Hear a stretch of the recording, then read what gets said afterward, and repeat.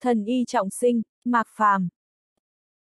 Tập 68 Tiểu tử, sư phụ ngươi là ai, phương pháp sửa cửu hoa đan là ngươi tự nghĩ ra được, hay là sư phụ ngươi dạy cho ngươi?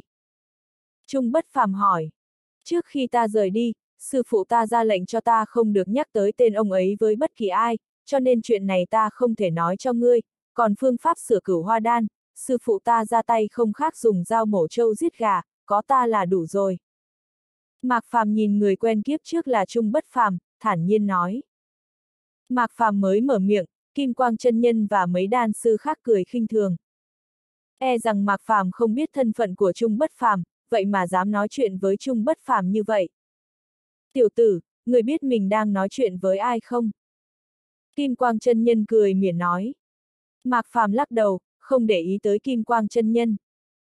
Trung Bất Phàm chỉ là một người trong vô số người hắn cứu ở kiếp trước, không hơn, Trung Bất Phàm không tức giận, ông ta hơi nhíu mày, đôi mắt nhìn chằm chằm Mạc Phàm, tia sáng kỳ lạ nở rộ trong mắt ông ta. Với thân phận của ông ta, cho dù là Tử Yên hay Tống Nhạc Thiên, khi nói chuyện với ông ta đều cảm thấy rất áp lực. Mạc Phàm chỉ là một tiểu tử chưa tới 20 tuổi, lại rất bình tĩnh. Hơn nữa ông ta có cảm giác, ông ta không biết Mạc Phàm, nhưng hình như Mạc Phàm biết ông ta. Loại cảm giác này là kinh nghiệm mà ông ta tích lũy qua nhiều năm, không sai được. Vậy sửa chữa có khiến đan lực của cửu hoa đan thấp đi, vì thế làm lão phu không tiến vào được hợp đạo kỳ hay không? Trung bất phàm hỏi tiếp. Người thân là đan tôn, hẳn là có tính toán trong lòng, sau khi sửa dược hiệu của cửu hoa đan sẽ không giảm đi, chỉ nhu hòa hơn nhiều, đối với người khác thì ta không dám nói, nhưng tuyệt đối thích hợp với Trung bất phàm ngươi. Mạc phàm nói chắc chắn. Trung bất phàm ở hóa thần kỳ lâu rồi, lại chịu đại thương nhiều lần, đã thương tổn tới căn nguyên. Phương thuốc luyện chế cửu hoa đan vốn có thể khiến Trung bất phàm tấn chức hợp đạo kỳ, nhưng di chứng cũng không nhỏ, cho dù ông ta không mạng treo lơ lửng như kiếp trước, cũng phải bế quan ôn dưỡng rất lâu. Nhưng sau khi đổi thập tầm tử thành thiên văn thảo, Trung bất phàm sẽ không lập tức tấn chức hợp đạo, nhưng theo lực lượng cửu hoa đan được hấp thu từng đạo, cơ thể Trung bất phàm sẽ được chữa trị từng chút. Đợi dược lực hấp thu hoàn toàn, Trung bất phàm sẽ tiến vào hợp đạo kỳ. Tiểu tử, làm càn, sao người dám nói chuyện với Trung đại sư như vậy? Kim Quang chân nhân lạnh lùng nói. Một tay ông ta vươn ra, một thủ trưởng màu vàng vĩ đại xuất hiện trên đỉnh đầu Mạc Phàm, đè về phía Mạc Phàm. Gọi thẳng tên Trung bất phàm, ở đây không có ai dám làm vậy. Nếu Mạc Phàm làm, vậy bây giờ ông ta giáo huấn Mạc Phàm thay Trung lão gia tử, thiên cơ các cũng không dám làm gì. Đại thủ màu vàng còn chưa rơi lên đỉnh đầu Mạc Phàm, đôi mắt Trung bất phàm nheo lại, ông ta lạnh lùng nhìn Kim Quang chân nhân một cái. Quỷ nịnh bợ, người muốn chết chính là ngươi, dám động vào ân nhân của lão phu. Khi nói những lời này, trong mắt ông ta chớp lóe tinh quang, kim quang chân nhân lập tức bay về phía sau như diều đứt dây, đại thủ trên đỉnh đầu mạc phàm cũng biến mất theo. Bùm, cả thiên cơ các nhoáng lên một cái, kim quang chân nhân đập mạnh lên trên vách tường, khe hở như mạng nhện xuất hiện trên vách tường.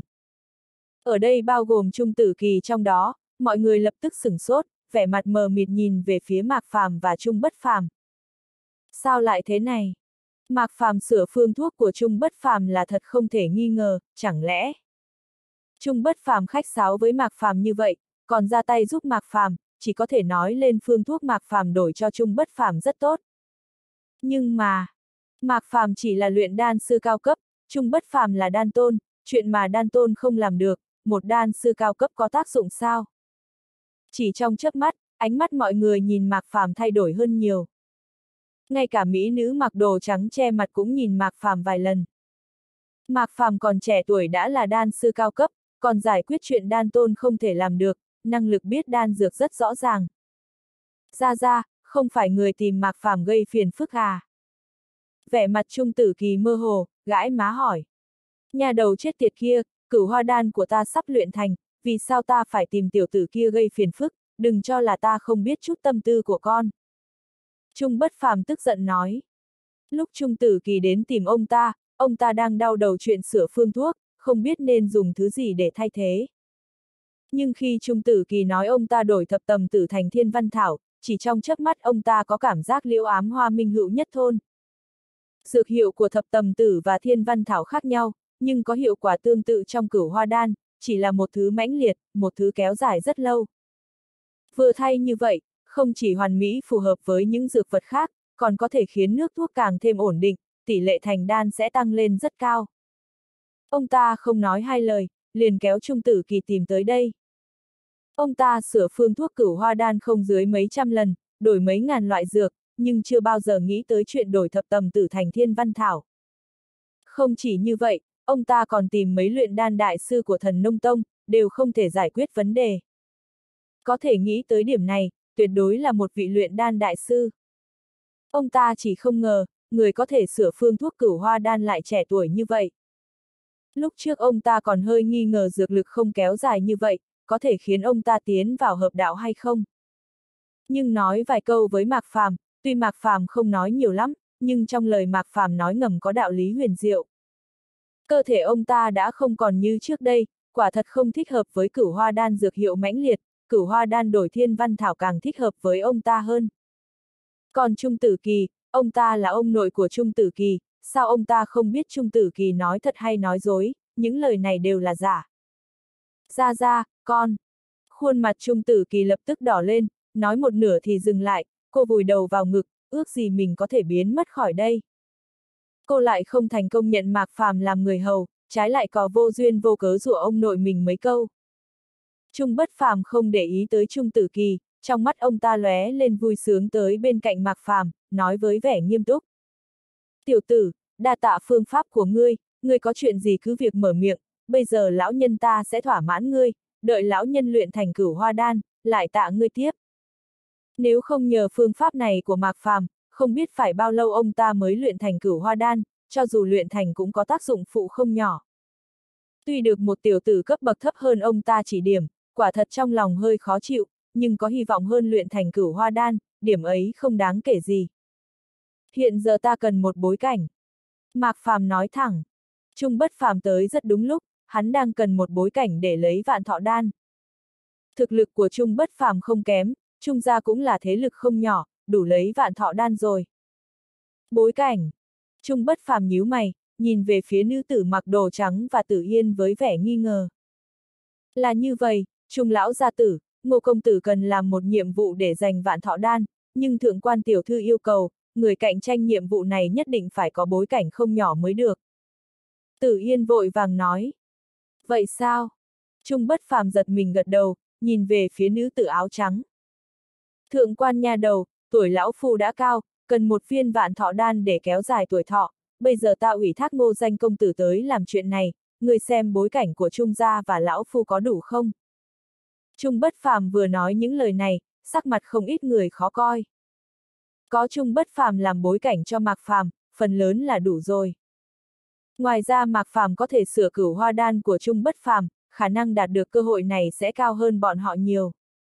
Tự nhiên có thêm một đối thủ cạnh tranh như vậy, không ai có thể cao hứng. Sở dĩ thượng quan gia chúng ta đề ra yêu cầu này, cũng là vì để người tiếp nhận nhiệm vụ có thể lấy được vạn thọ đan một cách bình yên, nếu không sẽ có người nghĩ là thượng quan gia chúng ta lừa gạt, nếu trung lão tiên sinh cần vạn thọ đan thì không có vấn đề gì, vị ngô công tử này không cần rời đi. Nữ tử áo trắng lạnh lùng nói. Vậy được rồi. Trung bất phàm gật đầu hài lòng, ánh mắt lại nhìn về phía mạc phàm. Tiểu tử, người còn chuyện khác cần lão nhân giúp hay không? Chỉ chống lưng giúp mạc phàm mà thôi, còn không đủ trả ơn mạc phàm sửa phương thuốc giúp ông ta. Phải biết rằng nếu đan dược này luyện thành, trung gia tương đương có thêm một luyện đan sư cấp hợp đạo. Không còn. Mạc phàm lắc đầu nói. Hắn sửa phương thuốc giúp Trung bất phàm, vốn không nghĩ nhiều, chỉ tránh để sau này Trung bất phàm lại gây phiền phức cho hắn. Trung bất phàm làm hậu thuẫn cho hắn được rồi, những chuyện khác không cần Trung bất phàm giúp. Đừng sốt ruột, đây là lệnh bài của lão nhân, có chuyện gì ngươi cứ việc tới tìm ta, còn nữa, nghe nói cháu gái ta đánh cược thua ngươi, dựa theo đánh cược, hiện giờ cháu gái ta là người hầu của ngươi, ngươi có thể sử dụng con bé tùy ý. Trung bất phàm lấy một lệnh bài ra, đưa cho Mạc Phàm nói. Con làm người hầu cho cậu ta, còn mặc cậu ta sử dụng, ra ra, con không nghe lầm đấy chứ. Trung tử kỳ khóc không ra nước mắt nói. Lúc này cô rất hoài nghi có phải mình được nhặt về hay không. Người trung gia chúng ta nguyện ý chịu thua, cứ vậy đi, ta đi về luyện đan trước, con đi theo ngô công tử, ta mà biết con không làm theo lời ta nói, con đừng nghĩ có trái cây ngon để ăn. Trung bất phàm đưa lệnh bài cho Mạc Phàm, xoay người rời khỏi thiên cơ các. A, à, Trung tử kỳ dẫm chân, trong đôi mắt nhìn Mạc Phàm đều là oán hận, ước gì có thể đi lên cắn Mạc Phàm vài cái. Cô tới nhận Mạc Phàm làm người hầu không thành, trái lại thành người hầu của Mạc Phàm. Còn bị ông nội cô ném mạnh cho Mạc Phàm làm người hầu. Mạc Phàm lắc đầu cười, cất lệnh bài. Lão giả trung bất phàm này vẫn có dáng vẻ hồi trước, không đáng tin. Trung bất phàm rời đi, mọi người cũng quay về vị trí ban đầu. Sắc mặt kim quang chân nhân xanh mét, không rên một tiếng ngồi xuống ghế của mình. Vừa rồi Trung bất phàm không ra tay tàn nhẫn, nếu không chắc chắn ông ta không đứng nổi. Nhưng trong đôi mắt ông ta nhìn Mạc Phàm chẳng những không có sợ hãi, trái lại càng phẫn nộ hơn. Nếu bối cảnh của mọi người không thành có vấn đề, chúng ta tiếp tục. Nữ tử áo trắng thấy mọi người ngồi xuống, quay lại vấn đề chính. Lần này mời mọi người tới, là muốn lựa chọn ra một vị luyện chế một lò đan dược giúp thượng quan gia chúng tôi, cụ thể là gì chúng tôi khó mà nói, nhưng mọi người yên tâm, nếu đã đến bước này, thượng quan gia chúng tôi sẽ không bạc đãi mọi người, qua lựa chọn hay không, đều có thể lấy được một phần tiểu lễ vật mà thượng quan gia chúng tôi đã chuẩn bị. Nữ tử áo trắng liếc mắt ra hiệu với thị nữ bên cạnh. Những thị nữ này mỗi người bưng một cái hộp tinh xảo, đi tới trước người đám mạc phàm. Trong mỗi chiếc hộp chứa một viên yêu châu to bằng nắm tay. Đây là huyền vũ châu vạn năm sao. Một luyện đan sư nhìn thấy hạt châu trong hộp, hít vào một hơi khí lạnh nói. Nội đan của huyền vũ là yêu đan của huyền vũ, là đan dược chính vô cùng quý hiếm để luyện chế vạn thọ đan, rất chân quý. Huyền vũ châu này là mặt trên mai rùa huyền vũ, tạo ra yêu châu. Tuy không bằng yêu đan của huyền vũ, nhưng cũng là nguyên liệu luyện đan cực phẩm khó gặp, một viên như vậy có giá trị rất xa xỉ. Thượng quan gia lấy vạn thọ đan ra, chắc chắn huyền vũ châu này là yêu châu của huyền vũ vạn năm bị thượng quan gia liệp sát. Thượng quan gia đúng là hào phóng. Có người tán thưởng. Tuy nữ tử này chưa từng lộ mặt, cũng không nói tên thật ra, nhưng họ thượng quan lại lấy vạn thọ đan ra, ở gần Thanh Thành không có, nhưng ở đối diện Thanh Thành, bên kia thần nông tông, có một thế gia ngự thú họ thượng quan rất nổi tiếng. Thượng quan gia này rất am hiểu bồi dưỡng, phục tùng yêu thú, không ít yêu thú của môn phái, thế gia, thậm chí là quân đình đều mua từ thượng quan gia. Quân đình là nhóm thế lực thế nào, vậy mà mua linh thú từ thượng quan gia, đủ để thấy thế lực thượng quan gia lớn thế nào. Đương nhiên nếu thế lực không lón, đã không lấy ra được vạn thọ đan và nhiều huyền vũ châu như vậy. Trái lại Mạc Phàm không có quá nhiều kỳ lạ, lúc nữ tử này xuất hiện, hắn đã biết người phụ nữ này là người của thượng quan gia, còn biết cô là ai. Không sai, trong hộp đúng là huyền vũ châu vạn năm, mời các vị nhận cho. Nữ tử áo trắng bình tĩnh nói. Audio điện tử võ tấn bền. Những lời này vừa vang lên, những thị nữ này cúi người đưa huyền Vũ Châu cho đám mạc phàm.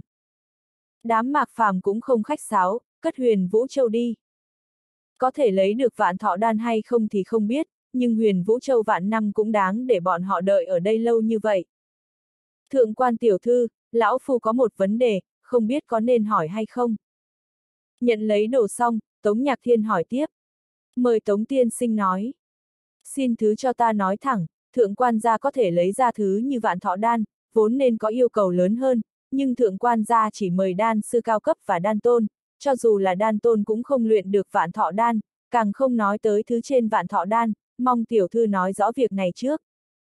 Tống Nhạc Thiên nói, nếu đan tôn cũng không luyện chế được, tìm đan tôn và cao cấp tới làm, phần lớn không phải chuyện đơn giản. Nữ tử áo trắng giống như đã sớm đoán được, khóe miệng dưới khăn che mặt hơi nhếch lên. Kế tiếp ta muốn nói tới chuyện này, sở dĩ chúng tôi tìm đan tôn và luyện đan sư cao cấp là vì thứ chúng tôi cần mọi người luyện chế được luyện chế trong thời gian ngắn, còn không thể có tu vi rất cao, cũng không thể quá thấp, rất cao sẽ khiến yêu thú chú ý, quá thấp cũng không có biện pháp tới nơi chỉ định, như vậy chư vị hài lòng chưa? Các ngươi muốn sinh luyện đúng không? Mạc Phàm hỏi tiếp, có một số dược vật luyện chế, nhất định phải luyện chế thành công trong thời gian ngắn, nếu không sẽ mất đi hiệu lực.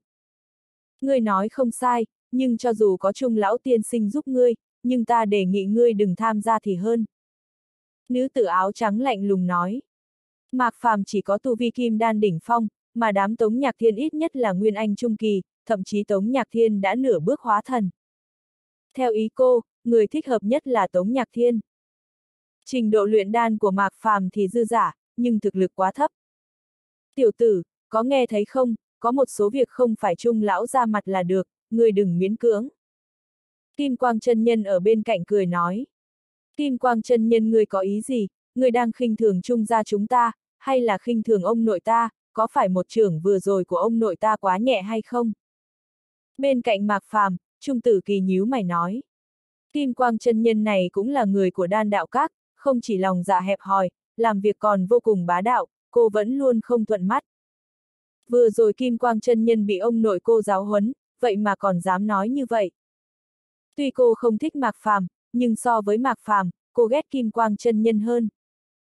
Trung tử kỳ, ta không bất kính với trung gia các ngươi và trung lão gia tử, chỉ là sự thật như vậy, ta chỉ tốt bụng nhắc nhở một phen mà thôi. Kim Quang chân nhân ra vẻ làm người tốt, nói. Ngươi! Trung tử kỳ nhíu mày, tức đến mức rậm chân. Ngươi đợi đó, ta gọi ông nội ta tới đây. Cô nói xong lấy một ngọc bài ra, sau đó gửi tin cho ông nội cô. Cô không đánh lại được Kim Quang chân nhân, nhưng ông nội cô không cần e sợ chuyện này, cho dù ở thiên cơ các cũng vậy. Không đợi cô gửi tin tức, đã bị Mạc Phàm ngăn lại. Người tên Kim Quang chân nhân đúng không? Kim Quang chi thân luyện không tệ, thực lực cũng không kém, hơn 30 tuổi đã tới Nguyên Anh đỉnh phong. Mạc Phàm liếc mắt nhìn Kim Quang chân nhân một cái, nói. Kim Quang chi thân là một loại công pháp hệ kim, sau khi luyện thành sẽ có kim quang toàn thân, có thể hóa thành kim thân vạn trượng, tuy không phải là thuần kim chi thân, chỉ là kim quang, khí thế nhìn cũng rất mạnh, nhưng thực ra uy lực không tốt lắm. Chuyện này cần ngươi nói à? Kim quang chân nhân hừ lạnh một tiếng nói. Với chút thực lực đó của ngươi, không cần trung lão gia tử tới, có ta là đủ rồi. Mạc phàm nheo mắt lại, ý niệm của hắn vừa động, hai đạo năng lượng dao động bay từ trong mắt hắn ra. Sắc mặt kim quang chân nhân thay đổi, còn chưa phản ứng kịp đã kêu lên đau đớn, giống như bị xe lửa đụng vào, cả người cả ghế bay về phía sau. Dầm, ghế dựa vỡ nát, kim quang chân nhân đập mạnh lên vách tường vừa rồi. Nhưng không giống với lần trước, vừa rồi kim quang chân nhân không bị thương nặng, lần này khóe miệng ông ta có máu tươi màu vàng chảy ra. Sắc mặt không ít người ở đây thay đổi. Nhất là nữ tử áo trắng, tử yên và trung tử kỳ, trong mắt càng tràn đầy không thể tin được. Trình độ luyện đan của Mạc Phàm cao như vậy, vậy mà thực lực cũng mạnh như thế. Phải biết rằng Kim Đan chân nhân là Nguyên Anh đỉnh phong, Kim Quang hộ thể cũng rất lợi hại, bị Trung Bất Phàm đánh bay vì Trung Bất Phàm là tu sĩ hóa thần đỉnh phong. Nhưng Mạc Phàm chỉ có thực lực Kim Đan đỉnh phong, hai người kém nhau một đại cảnh giới, vậy mà Mạc Phàm có thể làm được. Chuyện này, tiểu tử, người dám hủy Kim Quang chi thân của ta. Kim Quang chân nhân chỉ Mạc Phàm, tức giận nói. Vừa rồi Mạc Phàm chỉ nhìn, đã hủy kim quang chi thân của ông ta. Vì kim quang chi thân này, ông ta hao phí không ít đan dược và tinh lực, lại bị Mạc Phàm liếc mắt một cái phá hỏng, bị một tu sĩ kim đan đỉnh phong phá hỏng.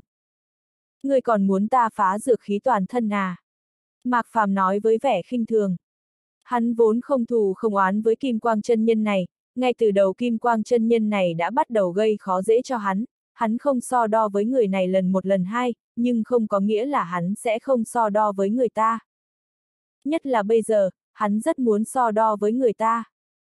Phá kim quang chi thân là nhẹ, phá dược khí toàn thân, trình độ luyện đan của kim quang chân nhân sẽ giảm xuống, đây mới là chí mạng. Ngươi! Sắc mặt kim quang chân nhân khó coi, lau máu tươi ở khóe miệng, ông ta chậm rãi đứng dậy, rời mắt nhìn tử yên cách đó không xa. Tử yên cô nương, ta bị tiểu tử này đánh trọng thương ngươi thấy rồi đó, đây là quy củ của thiên cơ các ngươi à. Mạc Phàm có thể phá kim quang chi thân của ông ta, chắc chắn cũng phá được dược khí của ông ta. Ông ta lại tranh chấp với Mạc Phàm, nói không chừng thật sự bị Mạc Phàm phá dược khí. Ông ta bị đả thương ở thiên cơ các, vậy phải tìm người của thiên cơ các. Tử Yên nhíu mày, cô liếc mắt nhìn Mạc Phàm một cái hỏi. Ngô công tử, đây là lần thứ mấy người tới thiên cơ các chúng ta. Xem như lần hai đi. Mạc Phàm nói thẳng. Tiếp trước hắn ra vào thiên cơ các không ít lần, nhưng một đời này, cộng thêm lần ở thiên long thành, lần này là lần thứ hai. Có lẽ ngươi không biết một quy củ, không được phép ra tay ở thiên cơ các chúng tôi, vì ngươi là khác nhân mới của thiên cơ các chúng tôi, không biết quy củ, cho nên lần này tạm như vậy, vì ngươi là người trung lão gia tử ủy thác, chúng tôi sẽ tìm trung lão gia tử, bảo ông ấy cho thiên cơ các chúng tôi một công đạo. Tử Yên nhắc nhở, tin về vạn thọ đan chỉ có một số người cấp cao mới thích hợp biết, cho nên bọn họ sàng lọc đối tượng. Người bình thường muốn biết, cũng không có biện pháp nào. Lúc trước cô tò mò vì sao Mạc Phàm biết được tin về vạn thọ đan, ngay vừa rồi cô mới hiểu được. Người thanh niên này không tầm thường, cho dù là trình độ luyện đan hay tu vi đều kinh người. Tuy hiện giờ chỉ là kim đan đỉnh phong, nhưng tiềm lực vô hạn. Thiên cơ các bọn họ có quy củ không được phép làm, nhưng phải nhìn người. Giống như Trung Bất Phàm ra tay, chắc chắn cô sẽ mở một mắt nhắm một mắt. Người như Mạc Phàm ra tay, tất nhiên cô cũng thiên về bên có tiềm lực nhất. Đa tạ tử yên cô nương nhắc nhở, nếu lại có chuyện như vậy, ta sẽ ra tay ở ngoài thiên cơ các, sẽ không ra tay ở thiên cơ các. Mạc Phàm thản nhiên nói. Ngươi, hai người. Kim Quang chân nhân nhíu mày, gương mặt ông ta xanh mét. Sao ông ta không nhìn ra, rõ ràng là tử yên đang bênh Mạc Phàm. Nhưng ông ta không có biện pháp, ai bảo ông ta không phải đối thủ của Kim Đan Đỉnh Phong. Chúng ta đợi coi. Kim Quang chân nhân vùng ống tay áo, không thể ở lại thiên cơ các này được nữa, ông ta xoay người rời đi. Việc đã tới nước này, ông ta không còn mặt mũi ở trong này nữa. Trung tử kỳ làm mặt quỷ với Kim Quang chân nhân, quay đầu nhìn Mạc Phàm ánh mắt thay đổi rất nhiều. Cô vốn tưởng rằng Mạc Phàm là người thành thật, không ngờ ra tay cũng tàn nhẫn như vậy, Mạc Phàm mạnh hơn cô nghĩ nhiều. Mạc Phàm làm như không nghe thấy lời Kim Quang chân nhân nói, rời mắt nhìn nữ tử áo trắng. Thượng quan tiểu thư, thực lực như vậy đủ chưa? Nữ tử áo trắng nhíu mày, nhưng lông mày lập tức giãn ra. Coi như không có những lời ta mới nói. Mạc Phàm chỉ có tu vi kim đan, nhưng phát huy ra thực lực không thua gì Nguyên Anh đỉnh phong, như vậy có thể hạn chế không hấp dẫn lực chú ý của yêu thú ở mức thấp nhất, còn hoàn thành sinh luyện trong thời gian ngắn. Lúc trước Mạc Phàm ở phía dưới tuyển chọn, hiện giờ tuyệt đối là đứng đầu tuyển chọn, còn thích hợp hơn Tống Nhạc Thiên. Chư vị, mọi người còn có câu hỏi nào nữa không? Nếu không còn, chúng ta sẽ bắt đầu kiểm tra bước tiếp theo. Nữ tử áo trắng hỏi. Đám Tống Nhạc Thiên nói nhỏ vài câu, cuối cùng đều lắc đầu. Bọn họ đều là luyện đan sư có kinh nghiệm, nữ tử áo trắng đã trả lời hết những vấn đề mà bọn họ muốn biết, không cần hỏi tiếp nữa. Được rồi, nếu là như vậy chúng ta bắt đầu bước tiếp theo. Nữ tử áo trắng vỗ tay, một thị nữ bưng một cái khay đi lên. Thứ này to bằng nắm tay, có màu đỏ sậm, nhìn rất giống máu đông đặc lại, nhưng toàn thân đầy đường vân. Theo thị nữ kéo tấm vải đỏ kia xuống, thứ này bắt đầu sáng tắt có tiết tấu. Các vị đại sư, mời mọi người nhìn kỹ thứ này, nếu không biết, có thể rời đi. Nữ tử áo trắng không nóng không lạnh nói. Sắc mặt không ít người thay đổi, vội vàng tập trung tinh thần nhìn kỹ thứ này, một số người lập tức nhíu mày. Thượng quan tiểu thư, ta có thể tới gần nhìn hoặc sờ thứ này một chút không? Một đan sư trung niên trong đó hỏi. Nếu nhãn lực không đủ hoặc không chắc chắn, đều phải rời đi.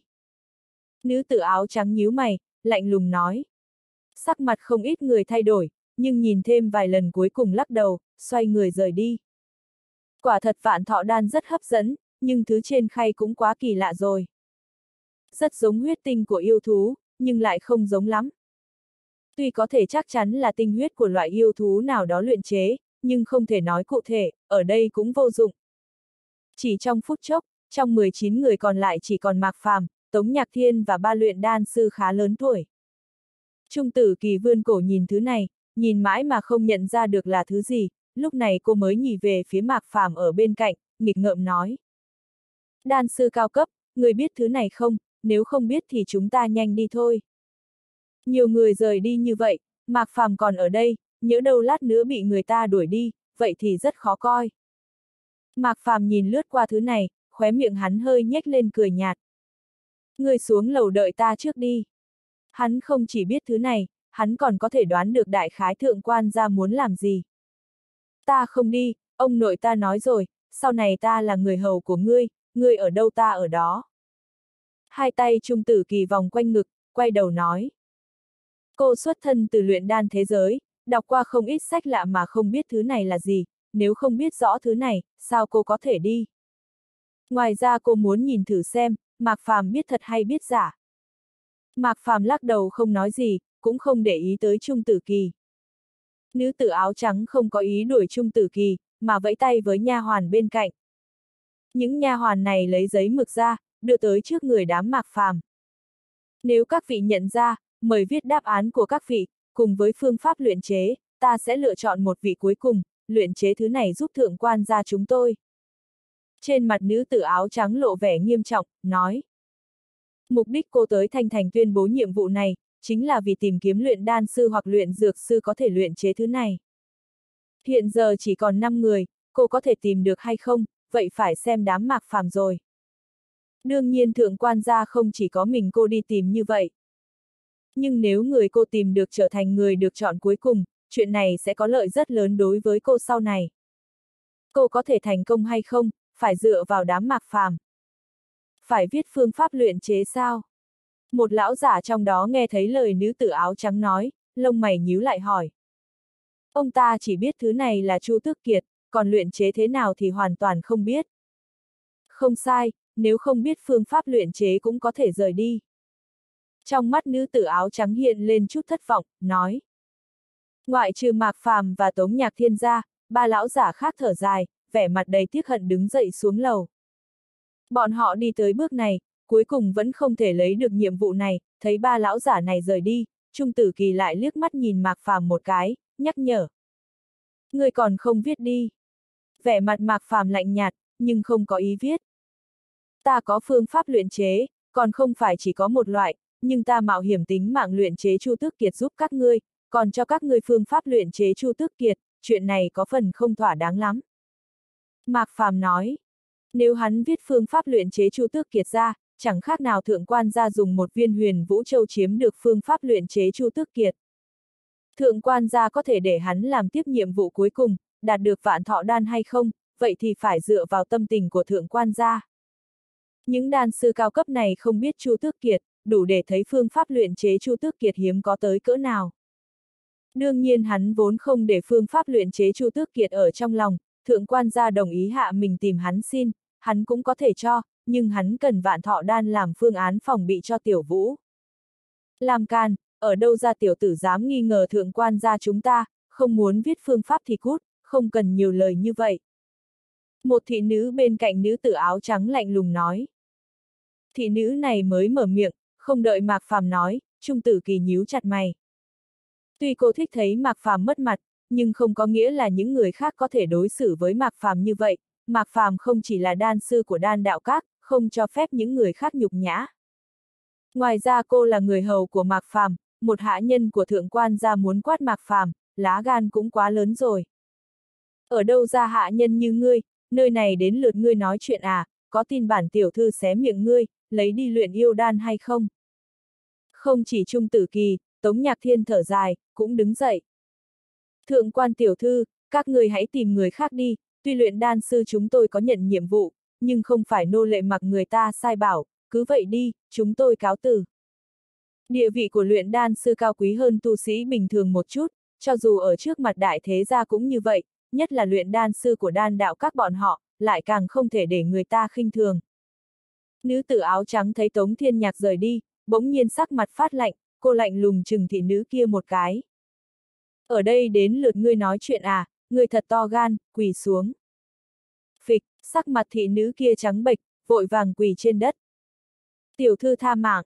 Nữ tử áo trắng không để ý tới thị nữ này, vội vàng nói. Đợi một chút, Tống Tiên Sinh, Ngô Công Tử. Thượng quan gia ta không có ý khinh thường luyện đan sư, cũng không có ý chiếm phương pháp luyện chế của hai vị, chúng tôi chỉ muốn xác nhận xem hai vị thật sự có thể luyện chế Chu Tước Kiệt hay không, nói vậy hai vị cũng biết sinh luyện yêu cầu rất nghiêm khắc, nhớ đâu lúc đó xảy ra chuyện gì, chậm trễ không phải là chuyện nhỏ, cho nên mong hai vị đừng chấp nhặt với một hạ nhân, lát nữa ta chắc chắn sẽ hậu tạ. Nữ tử áo trắng nói xong, quát lớn với thị nữ. Còn không nhanh xin lỗi hai vị đại sư, người muốn ta giết ngươi à? Đại sư tha mạng, tiểu nô biết sai rồi. Cơ thể thị nữ kia run lên, vội vàng lại nói. Tống Nhạc Thiên không nói gì, mà nhìn về phía Mạc Phàm. Vẻ mặt mạc phàm lạnh nhạt, không thèm nhìn thị nữ dập đầu liên tục trên đất. Một thị nữ mà thôi, vốn không cần phải để ý tới. Tạ thì không cần, thượng quan tiểu thư lấy ra chút thành ý là được. Chu Tước Kiệt không khác gì kỳ lân kiệt của kỳ lân huyết nô nhất tộc, dùng khí huyết của thánh thú để luyện chế. Chẳng qua kỳ lân kiệt mà kỳ lân huyết nô luyện chế cấp thấp hơn nhiều, một là không phải khí huyết kỳ lân tinh thuần, thứ hai tuổi cũng ít hơn nhiều, công hiệu cũng không phải kỳ lân kiệt có thể so sánh. Nhưng Chu Tước Kiệt mà thượng quan gia sắp luyện chế là Chu Tước Kiệt trên người Chu Tước Vạn Năm, còn là lúc Chu Tước Vạn Năm mới tỉnh, lấy tinh huyết trong tim Chu Tước Vạn Năm để luyện chế. Cả quá trình cần hoàn thành trong thời gian ngắn, nếu không sẽ bị Chu Tước phát cuồng giết trong chớp mắt. Cho dù là như vậy, cũng cửu tử nhất sinh. Phải biết rằng đó là Chu Tước Vạn Năm, tu sĩ hóa thần không có đường sống phản kháng, tu sĩ hợp đạo kỳ cũng chỉ có thể chạy trốn, trước khi Chu Tước Vạn Năm thức tỉnh hoàn toàn. Vì một viên vạn thọ đan mà mạo hiểm lớn như vậy, nếu không vì tiểu vũ, ít nhất bây giờ hắn sẽ không dây vào chuyện này. Một chuyện nguy hiểm như vậy, thượng quan gia luôn tỏ thái độ cao cao tại thượng, ngay cả một thị nữ cũng dám nói xen vào. Thượng quan gia đúng là kiêu ngạo quá rồi. Nữ tử áo trắng nghe thấy lời Mạc Phàm nói, lông mày nhíu lại rồi lập tức giãn ra.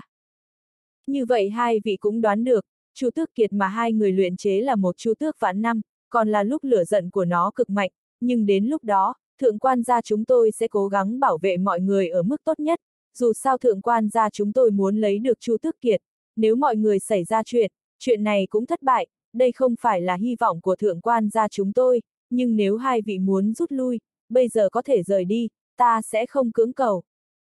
Tống nhạc thiên nhíu mày, liếc mắt nhìn Mạc Phàm một cái. Ngô danh, người có suy nghĩ gì? Ta nhất định sẽ lấy được vạn thọ đan, hôm nay chỉ có thể đắc tội rồi. Mạc Phàm thản nhiên nói. Hắn có ấn tượng không tệ đối với Tống Nhạc Thiên, nếu là thứ khác, hắn có thể cho Tống Nhạc Thiên. Nhưng hắn không hy vọng Tiểu Vũ xảy ra bất cứ vấn đề gì, cho nên hắn nhất định phải lấy được vạn thọ đan. Được rồi, người ủy thác ta cũng cho ta mấy điều kiện khiến ta không thể từ chối, cho nên nếu ta có thể lấy được, cũng sẽ không buông tay. Tống Nhạc Thiên gật đầu nói. Nữ tử áo trắng thấy hai người không rời đi, thì hơi thở phào nhẹ nhõm. Lúc trước cô có tìm được luyện đan sư thích hợp, nhưng cô mới nói lấy tinh huyết trên người Chu Tước vạn năm luyện chế Chu Tước Kiệt, người kia liền từ chối thẳng luôn. Ta thay thượng quan gia ta cảm ơn hai vị trước, như vậy, chỗ ta có hai bình hỏa phượng huyết, tương tự như Chu Tước huyết, nếu hai vị có thể luyện chế thành hỏa phượng kiệt trong vòng nửa khắc, nhiệm vụ này sẽ là của người đó. Nữ tử áo trắng nghĩ một lát, lấy hai bình ngọc ra nói. Nửa khắc, Tống Nhạc Thiên nhíu mày, trên mặt lộ vẻ lúng túng. Trái lại ông ta có thể luyện chế Chu Tước Kiệt, nếu là Chu Tước ngàn năm có lẽ ông ta có thể luyện chế thành Chu Tước Kiệt trong vòng nửa khắc, huyết dịch của Chu Tước vạn năm cuồng bạo hơn một chút, muốn luyện chế trong vòng nửa khắc là gần như không thể. Nhất là còn phân tâm không bị Chu Tước giết chết, nửa khắc càng không thể. Không sai, có khả năng còn không có nửa khắc này. Nữ tử áo trắng này nói chắc chắn. Đến lúc đó có cao thủ hấp dẫn lực chú ý của Chu Tước vạn năm, nhưng tinh huyết trong tim Chu Tước bị lấy đi, cho dù tu sĩ như con kiến cũng bị Chu Tước để mắt. Một khi bị Chu Tước để mắt, nửa khắc là quá nhiều, có khả năng không có nhiều thời gian như vậy. Chuyện này, ta không có biện pháp làm được. Tống Nhạc Thiên đứng dậy nói. Trên mặt nữ tử áo trắng lộ vẻ thất vọng, nhìn về phía Mạc Phàm.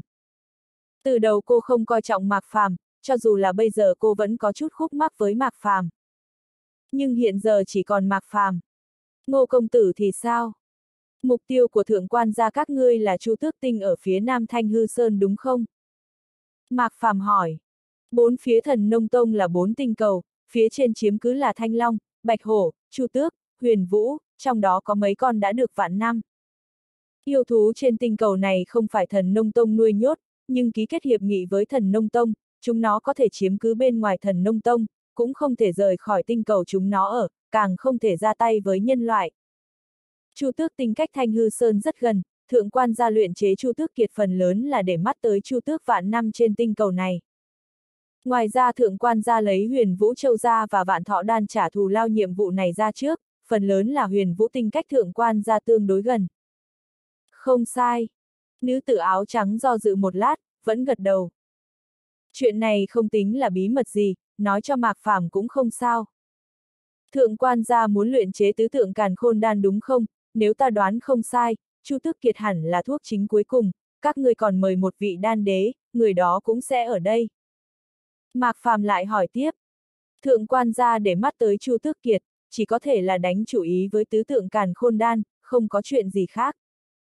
Tứ tượng càn khôn đan. Khi nghe thấy mấy chữ này, sắc mặt Tống Nhạc Thiên và Trung Tử Kỳ cùng thay đổi. Cấp bậc đan dược này còn trên cửu hoa đan, cũng là đan dược đại phá giai, tiêu hóa đan lực hoàn toàn, không chỉ có thể thực dụng lực tứ tượng, còn có uy áp của tứ tượng.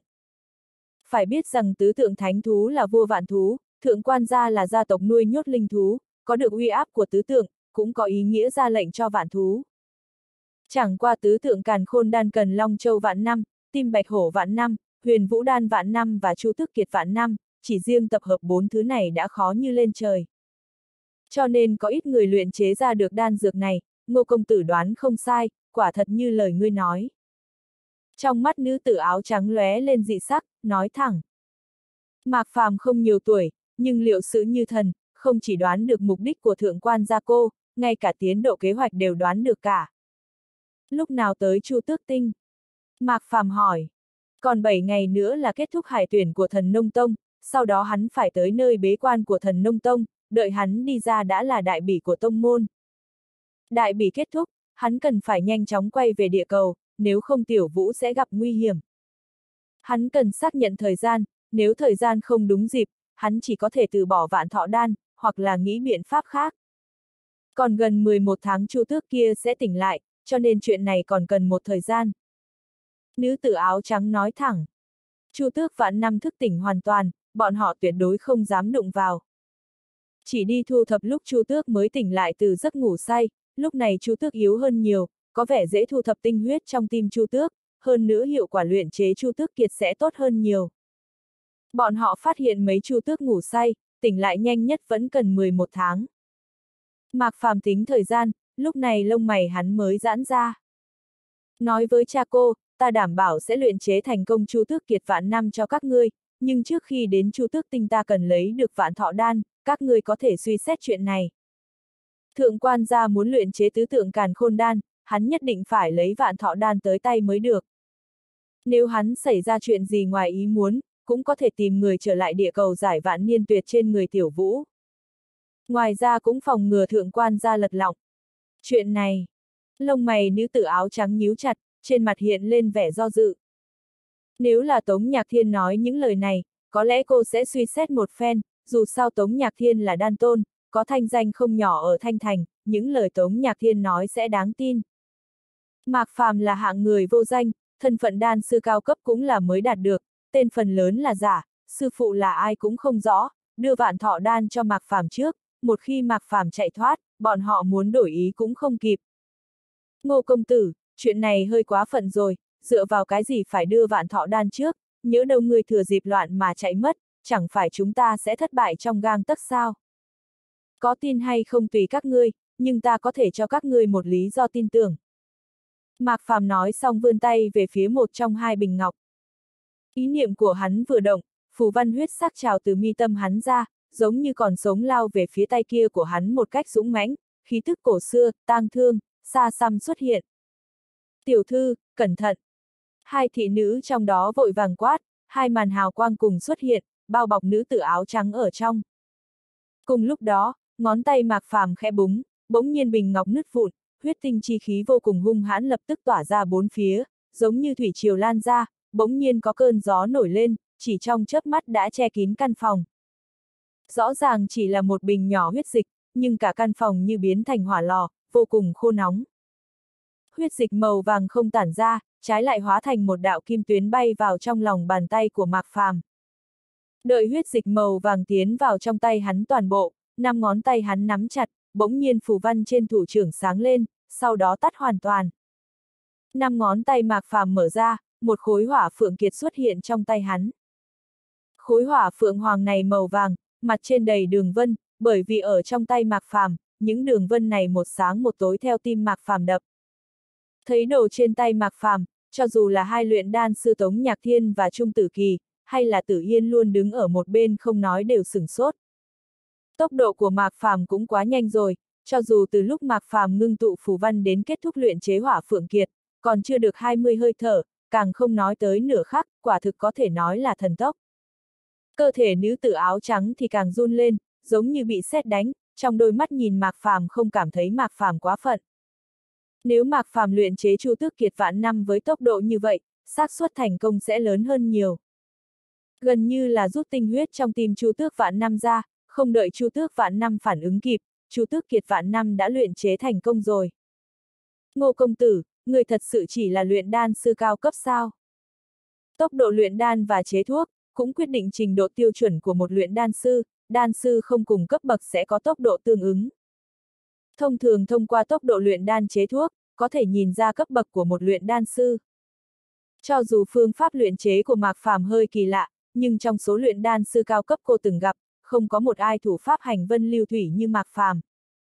Cho dù là đan tôn, cũng chưa chắc so được với Mạc Phàm. Chỉ là am hiểu luyện chế dược vật như huyết kiệt mà thôi, ta có cấp bậc gì cũng không quan trọng. Mạc Phàm lạnh nhạt nói. Tốc độ này vẫn hơi chậm, nếu không phải sẽ khiến người ta khả nghi, hắn còn có thể làm nhanh hơn chút nữa. Dù sao chỉ là một tu sĩ kim đan, lại có được thủ pháp thần cấp, nghe có vẻ rất dọa người. kiếp trước trước khi hắn thành y tiên bất tử, cũng rất lâu mới khiến người ta chấp nhận chuyện thực hắn chỉ có tu vi kim đan. Nữ tử áo trắng liếc mắt nhìn Tống Nhạc Thiên và Trung Tử Kỳ ở bên cạnh một cái, lập tức cảm thấy mình lỡ lời, vội vàng dừng lại. Vậy luyện chế Chu tức Kiệt vạn năm, Ngô công tử cần bao lâu? Nữ tử áo trắng hơi kích động nói. Tu vi kim đan, nhưng thực lực so được với tu sĩ Nguyên Anh, tốc độ chế thuốc ngay cả đan tôn đều không so được, không có ai thích hợp hơn Mạc Phàm rồi. Chu Tước Kiệt vạn năm khó hơn thứ này một chút, nhưng không khó hơn quá nhiều, một phút là đủ rồi, nhưng vẫn là câu nói lúc trước, phải dựa theo lời ta nói, thượng quan tiểu thư suy nghĩ một phen đi, nếu không được thì các ngươi có thể tìm người khác. Mạc Phàm thản nhiên nói. Chuyện này, ngô công tử, có thể cho ta chút thời gian được không, ta cần phải bàn bạc với cha ta một phen. Nữ tử áo trắng do dự một lát, nói. Có thể, cho người thông tấn phù này, nếu có tin tức thì liên lạc với ta, nếu không thấy ta trả lời, người tìm chung cô nương là được. Mạc Phàm lấy một thông tấn phù ra, ném lên trên không trung, thông tấn phù chậm rãi bay về phía nữ tử áo trắng. Dù sao còn 10 tháng chu tước này mới tỉnh lại, hắn không cần phải sốt ruột. Cho dù thượng quan gia không đồng ý cũng không sao, ít nhất hắn biết được một chuyện, thượng quan gia có vạn thọ đan, biết vậy là được rồi. Hắn có thể nghĩ biện pháp khác đạt được vạn thọ đan, ví dụ như nói điều kiện khiến thượng quan gia không thể từ chối. Nữ tử áo trắng nhận lấy thông tấn phù, vẫn lo lắng xác nhận lại. Mạc công tử, quả thật ngươi có thể luyện chế xong Chu Tước Kiệt trong thời gian ngắn sao? Chu Tước Kiệt là một bước cuối cùng của tứ tượng càn khôn đan, chuyện này liên quan tới hưng suy của gia tộc thượng quan bọn họ, không chấp nhận chuyện cô có chút lơ là. Hẳn là thượng quan gia ngươi không chỉ tìm một luyện đan sư, cho dù đan đế các ngươi tìm tới cũng không dám nói chắc chắn mình có thể luyện chế thành tứ tượng càn khôn đan giúp các ngươi đúng không? Mạc Phàm cười khẽ, nói với vẻ khinh thường. Nữ tử áo trắng gật đầu, luyện đan, chế thuốc luôn có chuyện ngoài ý muốn, không có luyện đan sư nắm chắc 100%, chỉ nắm chắc tương đối cao. Ta có thể nói chỉ cần các ngươi hấp dẫn chú ý của Chu Tước Vạn Năm, lại cho ta một khối na di bàn, ta có thể lấy Chu Tước Kiệt về cho các ngươi, có tin hay không tùy mọi người. Mạc Phàm nói chắc chắn. Những người khác không nắm chắc 100%, y tiên bất tử hắn thì có. Nhưng phải xem thượng quan gia có dám đánh cược hay không. Trong mắt nữ tử áo trắng hiện lên dị sắc, lại liếc mắt nhìn Mạc Phàm một cái. Được rồi, ngô công tử, ta sẽ cố gắng bàn bạc với cha ta, nếu có thể, ta hy vọng thượng quan gia chúng ta có thể hợp tác với ngươi.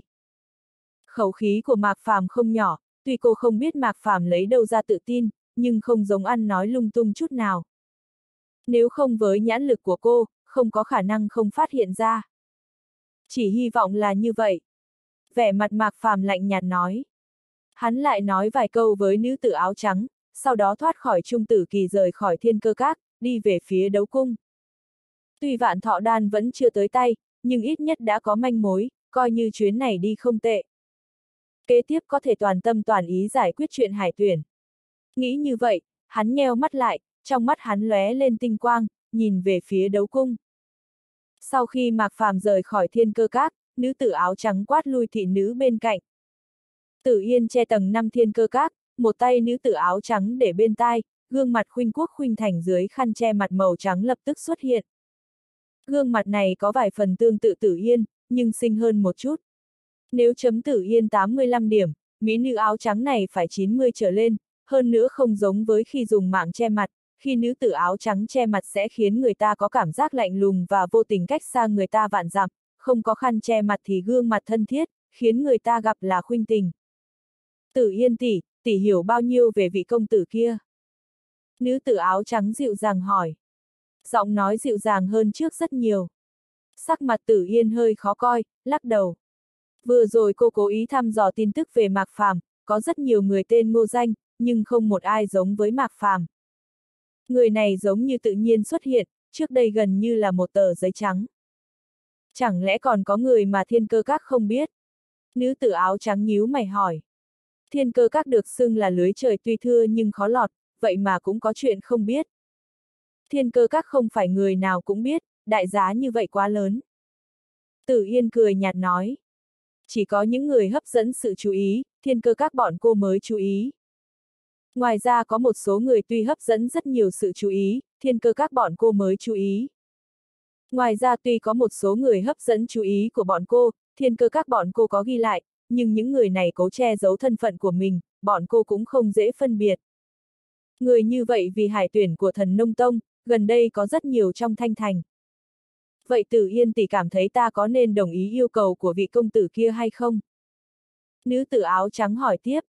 Chuyện này thì muội đừng sốt ruột, trên đời này không có tường không bị gió lùa, hiện giờ không có tin tức về vị công tử, không có nghĩa sau này không có, dù sao thời gian còn dài, ta sẽ phái người đi thăm dò, sẽ có tin tức nhanh thôi, nhưng yêu cầu của vị công tử này, muội có thể nói cho cha muội trước.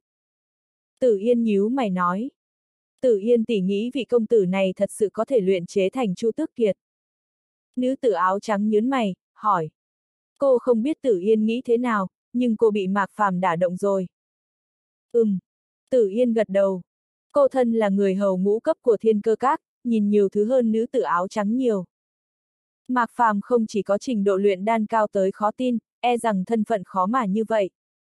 Nếu không phải cần vạn thọ đan, chỉ sợ sẽ không mạo hiểm luyện chế Chu Tước Kiệt cho thượng quan gia.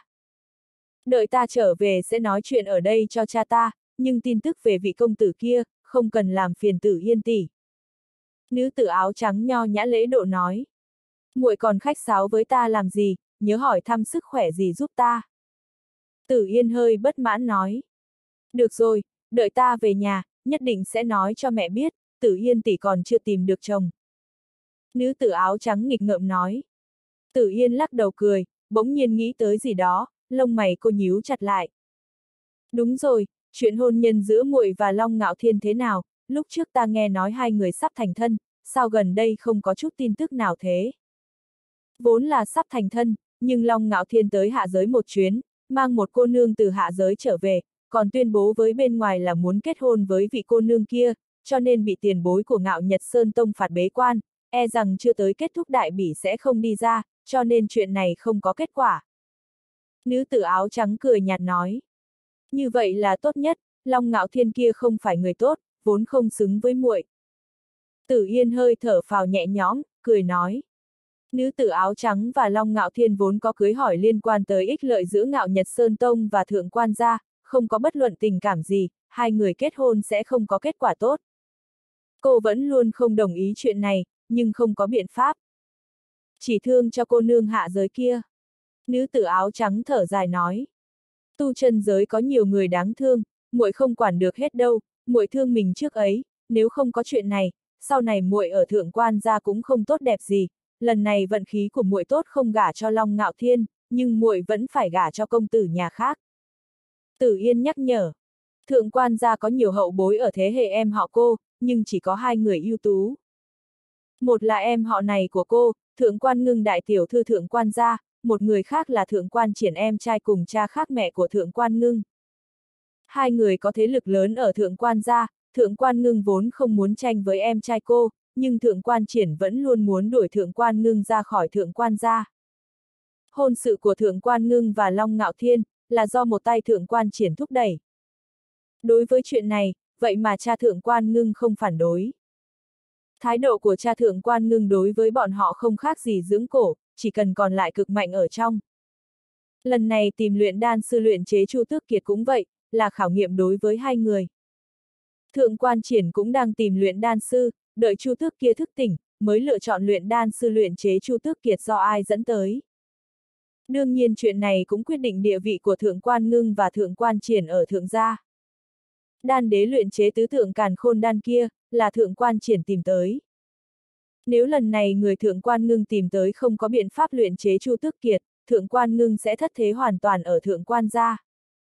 Kết cục không cần nói cũng biết, Thượng quan Ngưng sẽ bị coi thành vật phẩm giao dịch, gả cho thế lực có hữu dụng đối với Thượng quan gia. Ta sẽ cố gắng, nếu ngô công tử này không được, vậy ta không có biện pháp rồi. Thượng quan ngưng cười bất đắc dĩ. Tuy trong tươi cười có mang theo vài phần chua sót, nhưng xinh đẹp như tiên. Tử Yên nhíu mày, cô vừa định mở miệng, bỗng nhiên cô lấy một ngọc bài ra.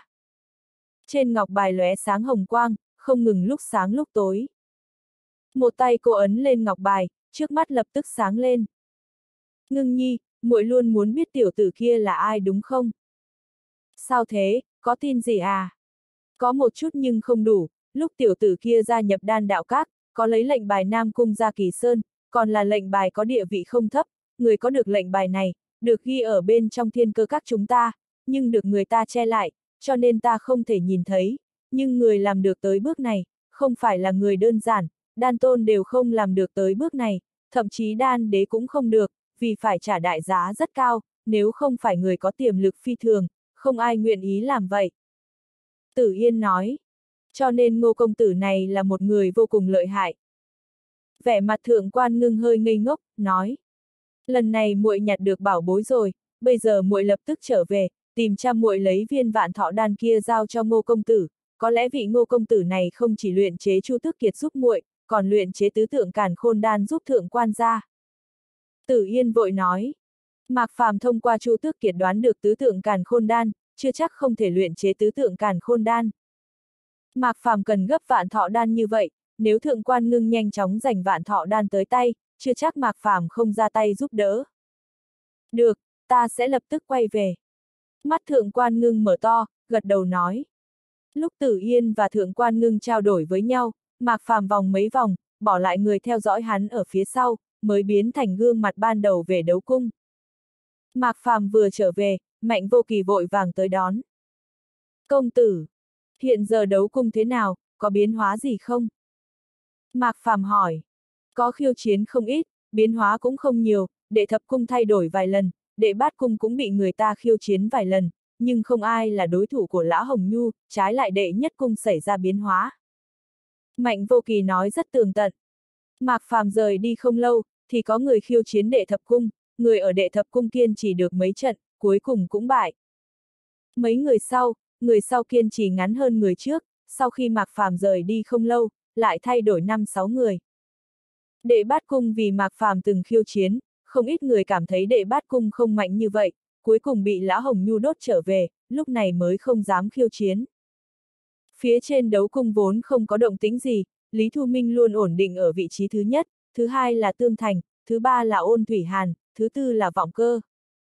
Không biết vì sao, vậy mà Lý Thu Minh khiêu khích đám Tương Thành, khơi dậy lửa giận của đám Tương Thành. Anh ta vốn đánh bại Tương Thành và Ôn Thủy Hàn, nhưng cuối cùng bại bởi Vọng Cơ, sau khi Vọng Cơ tới vị trí thứ ba, lại đánh bại Tương Thành. Cho nên hiện giờ biến thành Vọng Cơ thứ nhất, phía dưới là Tương Thành, Ôn Thủy Hàn và Lý Thu Minh. Công tử, Lý Thu Minh này quá kiêu ngạo, hiện giờ ăn khổ rồi. Mạnh vô kỳ nói. Kiêu ngạo sao? Mạc Phàm nhíu mày, trong mắt xuất hiện ánh sáng lạnh. Không phải Lý Thu Minh khiêu khích không mục đích, sở dĩ anh ta khiêu khích đám thanh thành, là thật sự muốn nhường vị trí số 1. Nếu Lý Thu Minh không nắm chắc, đã không có biện pháp ngồi ở vị trí số 1 lâu như vậy. Phải biết rằng lúc trước Lý Thu Minh không phải thứ nhất. Vô kỳ, mọi chuyện trong thời gian này, có lẽ có trùng hợp, nhưng không phải đều là trùng hợp, phần lớn dị thường đều có nguyên nhân cả. Mạc Phàm thản nhiên nói. Công tử, ý của ngươi là Lý Thu Minh này vì nhằm vào chúng ta, mới khiêu khích mấy người kia sao? Mạnh vô kỳ nhớn mày hỏi. Lúc trước Lý Thu Minh luôn khiêm tốn, bỗng nhiên hắn tới không lâu, anh ta bắt đầu khiêu khích những người này, còn thua toàn bộ. Hẳn là không còn khả năng khác. Mạc Phàm gật đầu.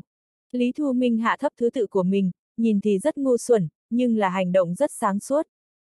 Anh ta rút lui khỏi đầu ngọn gió, có thể nghỉ ngơi dưỡng sức, cuối cùng cho người đứng đầu lôi đình nhất kích.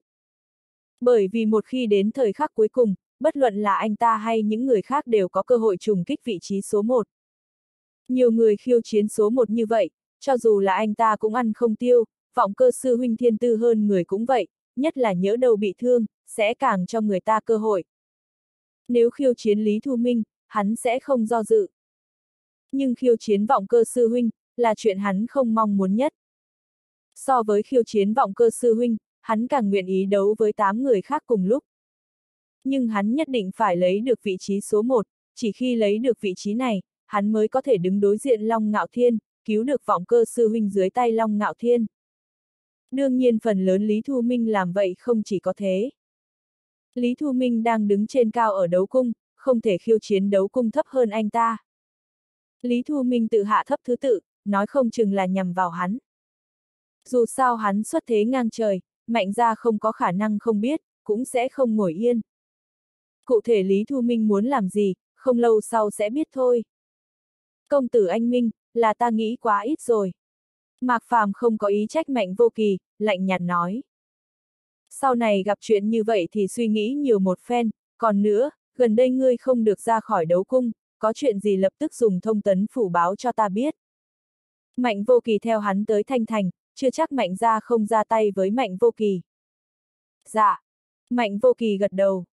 Còn nữa, phân tinh huyết và thần hồn của ngươi ra một phần, đặt vào trong đây. Mạc Phàm lấy hai bình ngọc ra, đưa cho mạnh vô kỳ. Nếu hắn dẫn mạnh vô kỳ theo, tất nhiên phải bảo vệ mạnh vô kỳ. Mạnh vô kỳ cũng không nghĩ nhiều, phân ra tinh huyết và thần hồn của mình cho vào trong bình ngọc, hai tay đưa bình ngọc cho Mạc Phàm. Trong mắt Mạc Phàm hiện lên lam quang, nhìn về phía hai bình ngọc. Một lát sau, trong mắt hắn lóe lên dị sắc. Người biết mình có thể chất gì không? Ta nghe chú ta từng nói, ta có thể chất thuộc tính thủy, cho nên không thích hợp với công pháp mạnh gia. Mạnh vô kỳ nói thẳng. Tốc độ thăng tu vi của anh ta luôn chậm hơn bạn cùng trang lứa, thực lực cũng kém bạn cùng trang lứa nhiều. Không chỉ công pháp mạnh ra không thích hợp với ngươi, ngay cả viêm dương thành đều không thích hợp với ngươi, ngươi có biết ở mạnh ra ai có thể chất tương tự như ngươi không? Mạc Phàm mỉm cười, hỏi tiếp. Cha ta có thể chất thuộc tính hỏa, mẹ ta là thuộc tính mộc, mạnh ra chúng ta không có ai có thể chất như ta, làm sao vậy, công tử, có vấn đề gì sao? Thể chất của ngươi tương tự với mạnh bất đồng. Mạc Phàm nói. Mạnh vô kỳ là thủy ngọc chi thể, trong máu lưu trữ huyết dịch thuộc tính mộc. Thể chất như vậy ở vùng phía nam sung túc linh khí thuộc tính hỏa, quả thật tốc độ phát triển chậm đi nhiều. Hỏa khắc thủy, còn có thể khắc mộc, mạnh vô kỳ gần như một gốc cây thủy sinh bị loại đến sa mạc, có thể sống đã không dễ dàng. Sư huynh mạnh bất đồng cũng vậy, trước khi mạnh bất đồng tới thần nông tông thì y thuật không tệ, nhưng tu vi không được tốt lắm, sau khi tới thần nông tông, bỗng nhiên thực lực tăng mạnh. Cuối cùng được sư phụ nhìn chúng, nhận làm đệ tử thân truyền. Sao lại có chuyện này được? Vẻ mặt mạnh vô kỳ sửng sốt, hỏi. Không cần khẩn trương, hẳn là tổ tiên ngươi có loại huyết mạch này, trôi qua nhiều năm, chỉ xuất hiện trên người ngươi mà thôi. Mạc Phàm thản nhiên nói. Vậy sao? Đây là vô ảnh tuyệt, sau này ngươi tu luyện thứ này, chỉ cần ngươi tu đến độ lửa nhất định, ngươi muốn mạnh hơn mạnh bất đồng thì không dễ như vậy, nhưng sau này thừa sức bảo hộ nhất mạch của mạnh ra các ngươi. Mạc Phàm cất bình ngọc, lấy một ngọc giản ra nói. Mạnh bất đồng có thể trở thành sư huynh của hắn, nắm giữ tinh vực phía nam của thần nông tông, chắc chắn thiên phú không giống bình thường, mạnh vô kỳ muốn trở thành người như mạnh bất đồng không cao lắm. Nhưng vô ảnh tuyệt có thể khiến mạnh vô kỳ trở thành một cao thủ tuyệt thế. Công tử, chuyện này. Mạnh vô kỳ khẽ nâng mí mắt, nhưng không giơ tay nhận lấy. Nếu ngươi không có đủ thực lực, sau này chỉ có thể giữ nhà hộ viện giúp ta, tự ngươi chọn đi. Mạc Phàm đặt ngọc giản lên trên bàn, xoay người đi vào trong đấu cung. Mạnh vô kỳ do dự một lát, còn chưa cầm lấy ngọc giản, một giọng nói truyền từ ngoài đấu cung vào. Lý Thu Minh kiếm mộ tinh đến bái phỏng, mong mở cửa gặp. Đến đây. Mạnh vô kỳ nhíu mày, kêu lên. Nghĩ kỹ chưa? Mạc Phàm liếc mắt nhìn Mạnh vô kỳ một cái, hỏi. Mạnh vô kỳ nhìn Ngọc Giản, do dự một lát rồi quyết tâm. Cuộc đời này của vô kỳ không phụ thương thiên, không phụ công tử.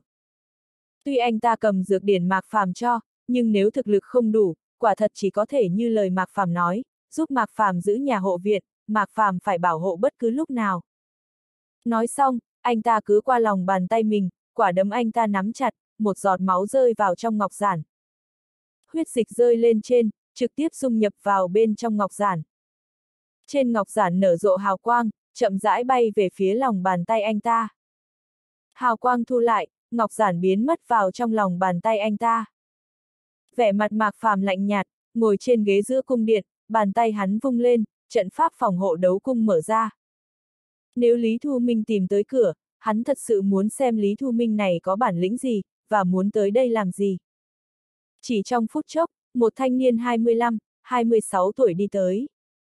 Người thanh niên này mặc quần áo màu xanh, cơ thể còn cao hơn mạc phàm một chút, làn da cũng trắng nõn hơn. Mái tóc dài được anh ta búi lên bởi một cái châm ngọc, ngũ quan và mỗi góc cạnh trên mặt đều như được chế tác tỉ mỉ, tuyệt đối là nam tử anh Tuấn. Anh ta cầm một thanh kiếm cổ màu xanh trong tay, toàn thân không có chút khí tức sắc bén của kiếm tu, trái lại khiến người ta cảm thấy rất hiền hòa. Mạc công tử khiến ta đợi lâu thật, Lý Thu Minh đi tới trước người Mạc Phàm không xa, giống như quen Mạc Phàm đã lâu, cười nói. Lý công tử có ý gì? Mạc Phàm lạnh nhạt nói. Như vậy ta sẽ nói cho ngươi, ta nói cho ngươi hay, ngươi đắc tội mạnh ra, ta có thể đi đến bước này, ít nhiều gì cũng nhờ mạnh ra, ta nói nhiều như thế, hẳn là Mạc công tử đã hiểu rõ rồi. Lý Thu Minh không giấu giếm, nói thẳng. Lý Thu Minh vừa nói những lời này, sắc mặt mạnh vô kỳ thay đổi. Người này, sao có thể? Lý Thu Minh là người của nhất mạch kia mạnh ra, bọn họ đều biết. Nhưng Lý Thu Minh vừa xuất hiện đã báo thân phận của mình, người bình thường che giấu còn không kịp, sau đó dở trò ở sau lưng, tránh để đối phương phòng bị, Lý Thu Minh thì ngược lại.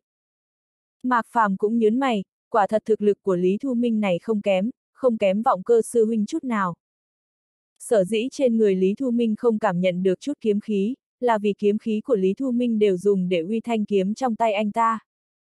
Nếu hắn đoán không sai, chỉ sợ thanh kiếm trên tay Lý Thu Minh đã 10 năm không rút ra, một khi rút ra, tu sĩ hóa thần cũng không chạm được. Không rút kiếm đã đứng vị trí thứ nhất, đủ để thấy đáng sợ của Lý Thu Minh. Nhưng đây không phải điểm đáng sợ nhất trên người Lý Thu Minh, đáng sợ nhất là tâm cơ của anh ta.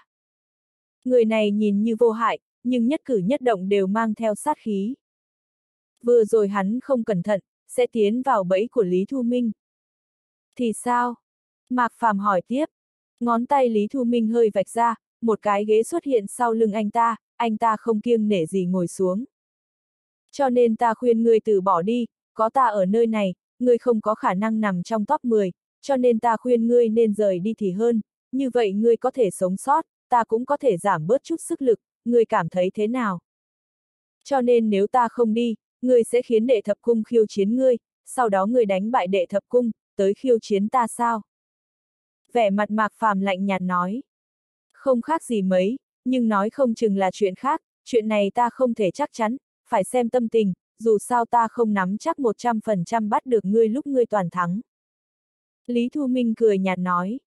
Tuy anh ta nói là không nắm chắc, nhưng trong giọng nói tràn đầy tự tin có thể xử lý Mạc Phàm. Lý Thu Minh, người có biết người đang nói chuyện với ai không? Mạnh Vô Kỳ ở bên cạnh tức giận nói. Thiếu chút nữa đã quên, người tên Mạnh Vô Kỳ đúng không? Trong nhiệm vụ Mạnh ra an bài cho ta còn có ngươi, bọn họ bảo ta giữ một mạng cho ngươi, nhưng phải biến ngươi thành phế nhân. Khi nói chuyện anh ta vươn tay ra, giữa năm ngón tay chỉ có một thanh tiểu kiếm dài bằng ngón tay xuất hiện, xoay tròn trong tay anh ta. Ngươi! Mạnh vô kỳ nhíu mày, nắm chặt tay lại. Mạnh thiếu, đừng kích động, bây giờ ta sẽ không ra tay với ngươi, trong thời gian hải tuyển của thần nông tông cũng không giết ngươi, đợi mạc công tử được xử lý xong, có lẽ sẽ là ngày chết của ngươi, sau ngươi sẽ là ai đây, chú ngươi và những người ở viêm dương thành, còn có khả năng cả em họ ngươi nữa. Lý Thu Minh hơi nhếch miệng, năm ngón tay nắm chặt, tiểu kiếm lập tức biến mất trong lòng bàn tay anh ta. Sắc mặt mạnh vô kỳ khó coi, trong mắt anh ta tràn đầy lửa giận. Lý Thu Minh không chỉ tới khiêu khích Mạc Phàm, cũng tới uy hiếp anh ta, uy hiếp đám chú anh ta nữa. Một tay anh ta vươn ra, một khí binh hình đao xuất hiện trong tay anh ta. Sao thế, tiểu tử, người cũng muốn khiêu chiến thực lực của đệ tứ cung à, ra tay ở đây, cho dù ta phế ngươi, cũng không tính là làm trái quy củ ở đấu cung, ngươi cho ta cơ hội này không, con người ta ghét nhất là phiền phức, có cơ hội giải quyết một chuyện đơn giản, ta sẽ không lưu lại phiền phức cho sau này. Lý Thu Minh đứng dậy hỏi. Ta liều mạng với ngươi. Mạnh vô kỳ nhíu mày, Đào phong lập tức nhấc lên, anh ta giống như điên rồi muốn xông về phía Lý Thu Minh. Lý Thu Minh nghiêng đầu, khóe miệng anh ta hơi nhếch lên, thanh tiểu kiếm kia lại xuất hiện trong tay, không có động tác ngoài sức tưởng tượng, chỉ hơi đâm về trước. Nhưng chỉ một đâm này, mạnh vô kỳ tới trước người anh ta tự động dừng lại, giống như chúng định thân pháp. Rõ ràng là có thể nhìn thấy, nhưng không thể nào di chuyển. Thấy tiểu kiếm của Lý Thu Minh sắp đâm vào mạnh vô kỳ, Mạc Phàm nhíu mày biến mất tại chỗ. Khi hắn xuất hiện lần nữa, đã tới giữa hai người. Một tay hắn nắm lấy cổ tay mạnh vô kỳ, tay còn lại chắn trước tiểu kiếm của Lý Thu Minh. Không biết tiểu kiếm kia do thứ gì ngưng tụ thành, đâm thẳng vào lòng bàn tay Mạc Phàm, máu tươi chảy từ bàn tay hắn ra. Công tử! Mạnh vô kỳ thấy tay Mạc Phàm chảy máu, ngơ ngẩn nói. Phải biết rằng Mạc Phàm là thần thể tam cấp, pháp bảo bình thường sẽ không thể thương tổn được hắn, nhưng bị tiểu kiếm của Lý Thu Minh đâm dễ dàng. Đây là Mạc Phàm quá yếu, hay là Lý Thu Minh quá mạnh? Người bị kiếm ý của anh ta khống chế, lui ra đi. Mạc Phàm nói với vẻ khinh thường. Công tử, ta. Vẻ mặt mạnh vô kỳ ngẩn ra, lúc này mới hiểu ra. Trên mặt anh ta tràn đầy áy náy, nhưng vẫn lùi sang một bên. Mạc Phàm chậm rãi rút tay bị tiểu kiếm đâm trúng ra, hắn nhìn thoáng qua vết thương khép miệng chậm hơn bình thường nhiều, trên mặt không có chút bất ngờ. Ý niệm của hắn vừa động, vết thương khôi phục hoàn toàn. Làm xong những chuyện này, hắn quay về vị trí cũ, giống như không có việc gì ngồi xuống, lúc này ánh mắt lạnh lùng mới nhìn về phía Lý Thu Minh. Lý Thu Minh, người có thể ra tay với bạn kèm của ta ở chỗ ta, người nghĩ mình cao quá rồi đó. Vậy sao? Lý Thu Minh mỉm cười hỏi. Người có thể thử lại xem, xem người thương tổn được bạn kèm của ta, hay là ta giết ngươi. Mạc Phàm lạnh nhạt nói. Hửm. Lý Thu Minh nhíu mày, nhìn về phía Mạc Phàm, thanh tiểu kiếm màu xanh lại xuất hiện trong tay anh ta. Nhưng tiểu kiếm xoay tròn trong tay anh ta rất lâu mà không rời đi. Trên mặt Mạc Phàm không có quá nhiều biểu cảm, nhìn về phía Lý Thu Minh. Trong đấu cung, chỉ trong chớp mắt yên tĩnh một cách quỷ dị. Một lát sau, năm ngón tay Lý Thu Minh nắm chặt, tiểu kiếm biến mất trong tay anh ta. Mạc công tử, ngươi là không chịu từ bỏ, nhất định phải để ta ra tay đúng không? Bây giờ ngươi đang ở đệ tứ cung đúng không? Mạc Phàm không đáp hỏi ngược lại. Không sai. Ngươi đã đến đấu cung của ta, ta cũng cho ngươi cơ hội lựa chọn, hiện giờ ngươi từ bỏ hải tuyển lần này, còn có thể rời đi không sức mẻ gì, nếu không người ngày mai ta khiêu chiến đầu tiên sẽ là ngươi. Mạc Phàm nói tiếp, nếu Lý Thu Minh thành thật một chút, hắn sẽ không để ý tới Lý Thu Minh. Nhưng nếu Lý Thu Minh đi tới đấu cung của hắn khiêu khích, còn ra tay với Mạnh Vô Kỳ, vậy thì khiến anh ta cút khỏi hải tuyển.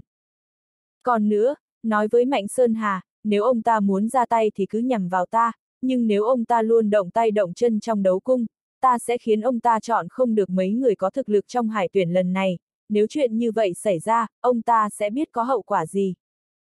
Mạc Phàm lạnh lùng nói. Không phải Mạnh Sơn Hà muốn chơi sao, vậy hắn sẽ chơi với ông ta tới cùng. Hải tuyển lần này không chỉ lựa chọn người tham gia đại bỉ, cũng là lựa chọn chiến tu. Nếu hắn phế đi đám Lý Thu Minh, sau đó trong mấy ngày này, lại phế bỏ những đám người khác, người được tuyển chọn cuối cùng sẽ có thực lực kém hơn đám Lý Thu Minh mấy cấp bậc. Người tuyển chọn không thích hợp, Mạnh Sơn Hà trở về cũng không dễ báo cáo kết quả công việc. Bởi vì đến lúc đó tới xem 10 người này không chỉ có mạnh bất đồng, còn có những người đứng đầu khác, thậm chí có khả năng là sư phụ hắn.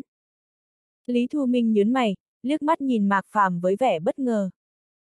Lá gan Mạc Phàm không phải lớn bình thường, muốn khiêu chiến anh ta còn chưa tính, vậy mà còn cảnh cáo Mạnh Sơn Hà.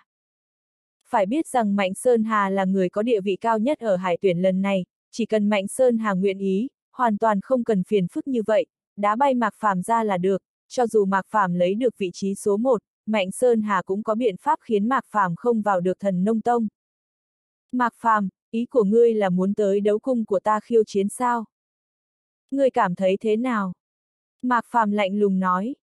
Được rồi, như vậy ta sẽ bớt việc đi nhiều, ta đợi ngươi. Lý Thu Minh chậm rãi đứng dậy, cười xoay người muốn rời đi. Anh ta mới đi hai bước, bỗng nhiên nghĩ tới chuyện gì đó thì dừng bước lại, quay đầu nhìn về phía Mạc Phàm. Những lời ngươi muốn nói với Mạnh Tiên Sinh, ta có thể nói với ông ấy thay ngươi, nhưng ngươi chắc chắn muốn làm vậy à? Hắn nói những lời Mạc Phàm nói cho Mạnh Sơn Hà, Mạc Phàm thật sự sẽ xong rồi. Đây không phải là lần đầu tiên anh ta tiếp xúc với Mạnh Sơn Hà, Mạnh Sơn Hà là một người có thù tất báo, anh ta gần như có thể nhìn thấy sau khi anh ta nói những lời này cho Mạnh Sơn Hà, Mạnh Sơn Hà sẽ có biểu cảm muốn giết người. Có vấn đề gì sao? Không có, được rồi, tốt nhất là tối nay ngươi an bài hậu sự của mình đi, bởi vì ngày mai ngươi sẽ phải chết không thể nghi ngờ. Lý Thu Minh cười rời đi. Trong đấu cung của Mạc Phàm, công tử, chúng ta đối nghịch với Mạnh Sơn Hà như vậy, không được tốt lắm đâu. Mạnh vô kỳ hơi lo lắng nói.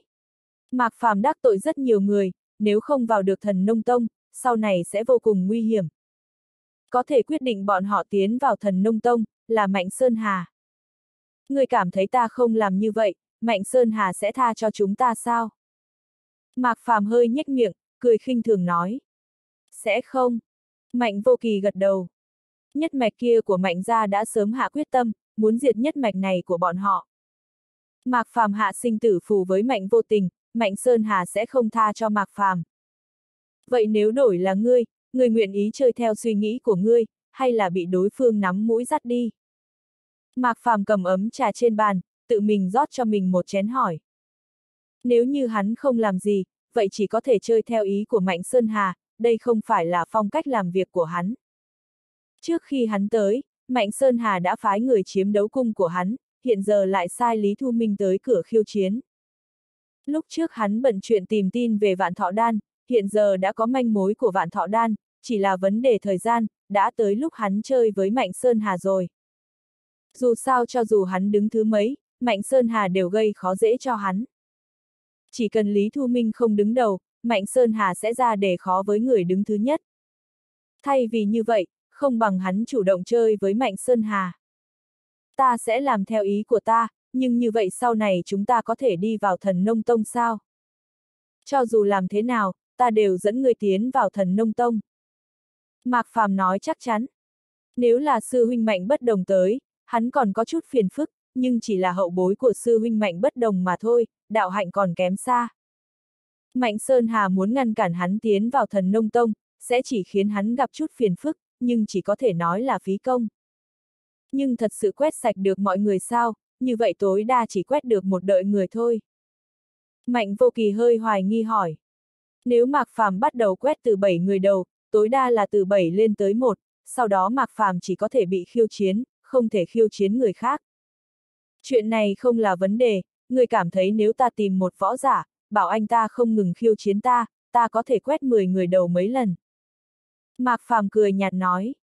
Hắn có thể tìm một tu sĩ thực lực không tệ, còn đồng ý cho anh ta vị trí top 10, sau đó bảo người này khiêu chiến hắn nhiều lần. Điều kiện như vậy, không có tu sĩ nào sẽ từ chối. Dù sao đây là cơ hội tiến vào thần nông tông, vô số người tranh sức ra cũng muốn đi vào. Như vậy hắn có thể đẩy thứ tự ra ngoài, sau đó quét một đợt mới. Quét như vậy, chỉ mấy lần là quét được tu sĩ có thực lực xuống. Công tử anh Minh. Trước mắt mạnh vô kỳ sáng lên, lúc này mới yên tâm. Người ở đây một lát, ta phải ra ngoài một phen, gặp hai người. Mạc Phàm uống một hơi cạn sạch chén trà, đứng dậy nói. Công tử có người quen ở đây sao? Mạnh vô kỳ tò mò nói. Mạc Phàm vừa từ hạ giới tới, hẳn là lần đầu tiên tới Thanh Thành, không có người quen mới đúng. Xem như là vậy.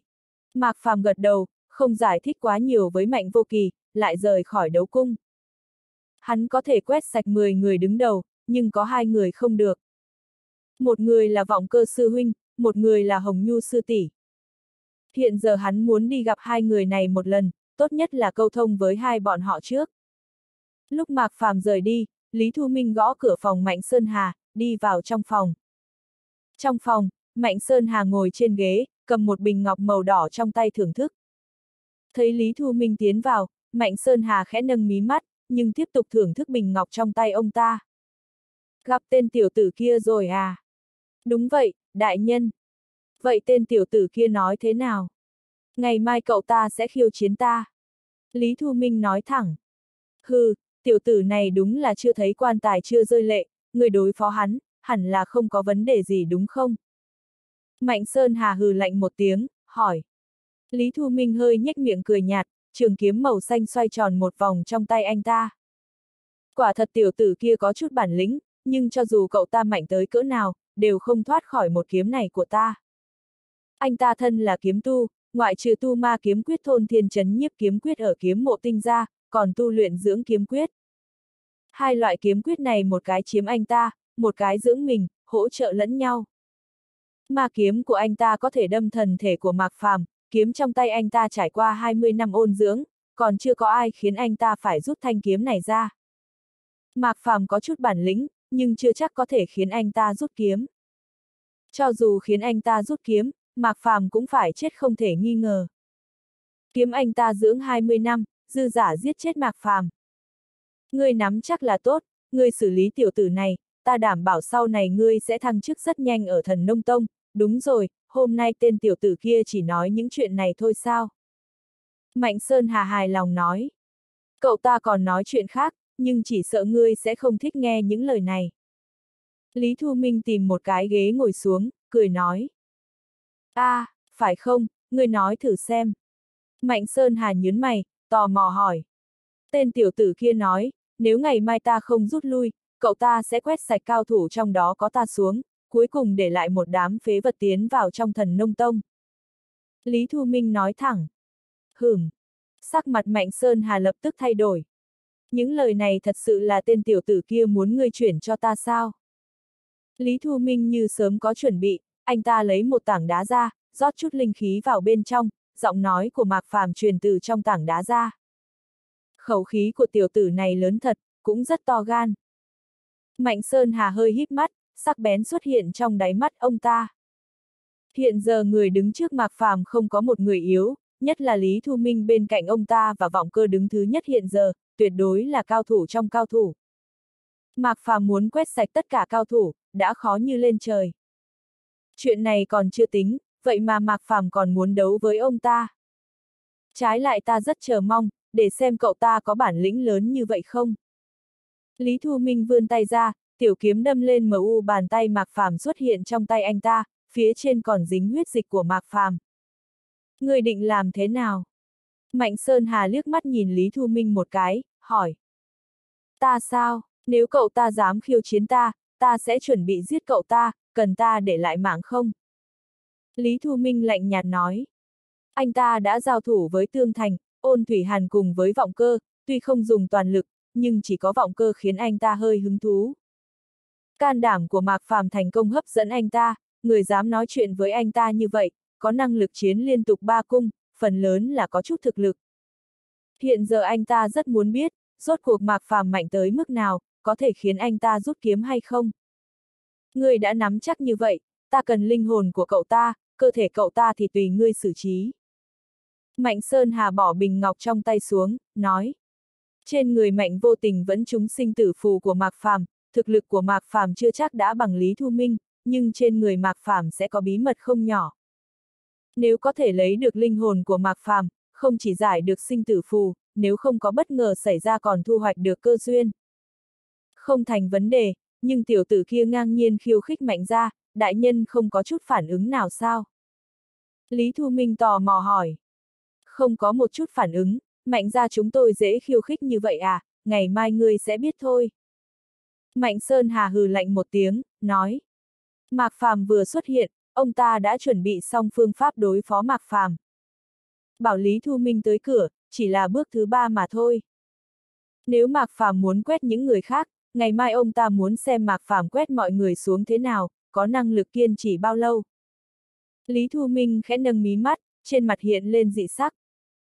Xem ra ngày mai tên tiểu tử kia chưa chắc đã có năng lực khiêu chiến ta. Không khác lắm, cho dù cậu ta khiêu chiến được ngươi, cậu ta có bao nhiêu bản lĩnh ngươi đều có thể thấy được, ngoài ra linh khí trong cơ thể cậu ta cũng tiêu hao gần hết. Mạnh Sơn Hà vô cùng tin tưởng nói. Như vậy cũng được, sẽ giảm bớt không ít phiền phức cho chúng ta, nhưng đại nhân thật đáng sợ. Lý Thu Minh nhún vai, ánh mắt nhìn Mạnh Sơn Hà e sợ hơn nhiều. Mạnh Sơn Hà đúng là người đáng sợ, vậy mà vẻ mặt không đổi làm chuyện như vậy. Anh ta vốn tưởng rằng vòng của mình rất quan trọng, nhưng bây giờ xem ra anh ta chỉ phải đi cảnh cáo Mạc Phàm, có cần anh ta hay không thì chưa chắc. Đây chỉ là chuyện hắn biết, Mạnh Sơn Hà còn không biết bao nhiêu chuyện không nói nữa.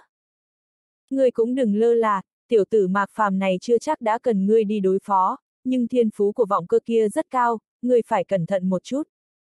Mạnh Sơn Hà dặn dò. Yên tâm đi, đối phó vọng cơ, ta nắm chắc 10 phần, anh ta cũng như Mạc Phàm thôi, đều chúng ma kiếm của ta, đại nhân cũng biết kết cục việc chúng ma kiếm của ta rồi đó. Lý Thu Minh vô cùng tự tin nói. Một khi bị ma kiếm thôn thiên của anh ta đâm trúng, chẳng qua chỉ là vết thương nhỏ, anh ta dùng chút kiếm khí ấy tấn công bọn họ bất cứ lúc nào cũng được. Bị ma kiếm của anh ta đâm trúng càng lâu, lúc anh ta kích phát kiếm khí của ma kiếm sẽ có uy lực càng lớn hơn. Ngươi cũng là người vô cùng đáng sợ, chỉ sợ không chỉ vọng cơ và mạc phàm chúng ma kiếm của ngươi đúng không? Vẻ mặt Mạnh Sơn Hà thay đổi, nói tiếp. Chuyện này sao, đều là đại nhân dạy bảo tốt, Thu Minh còn kém xa đại nhân một chút. Lý Thu Minh khiêm tốn nói.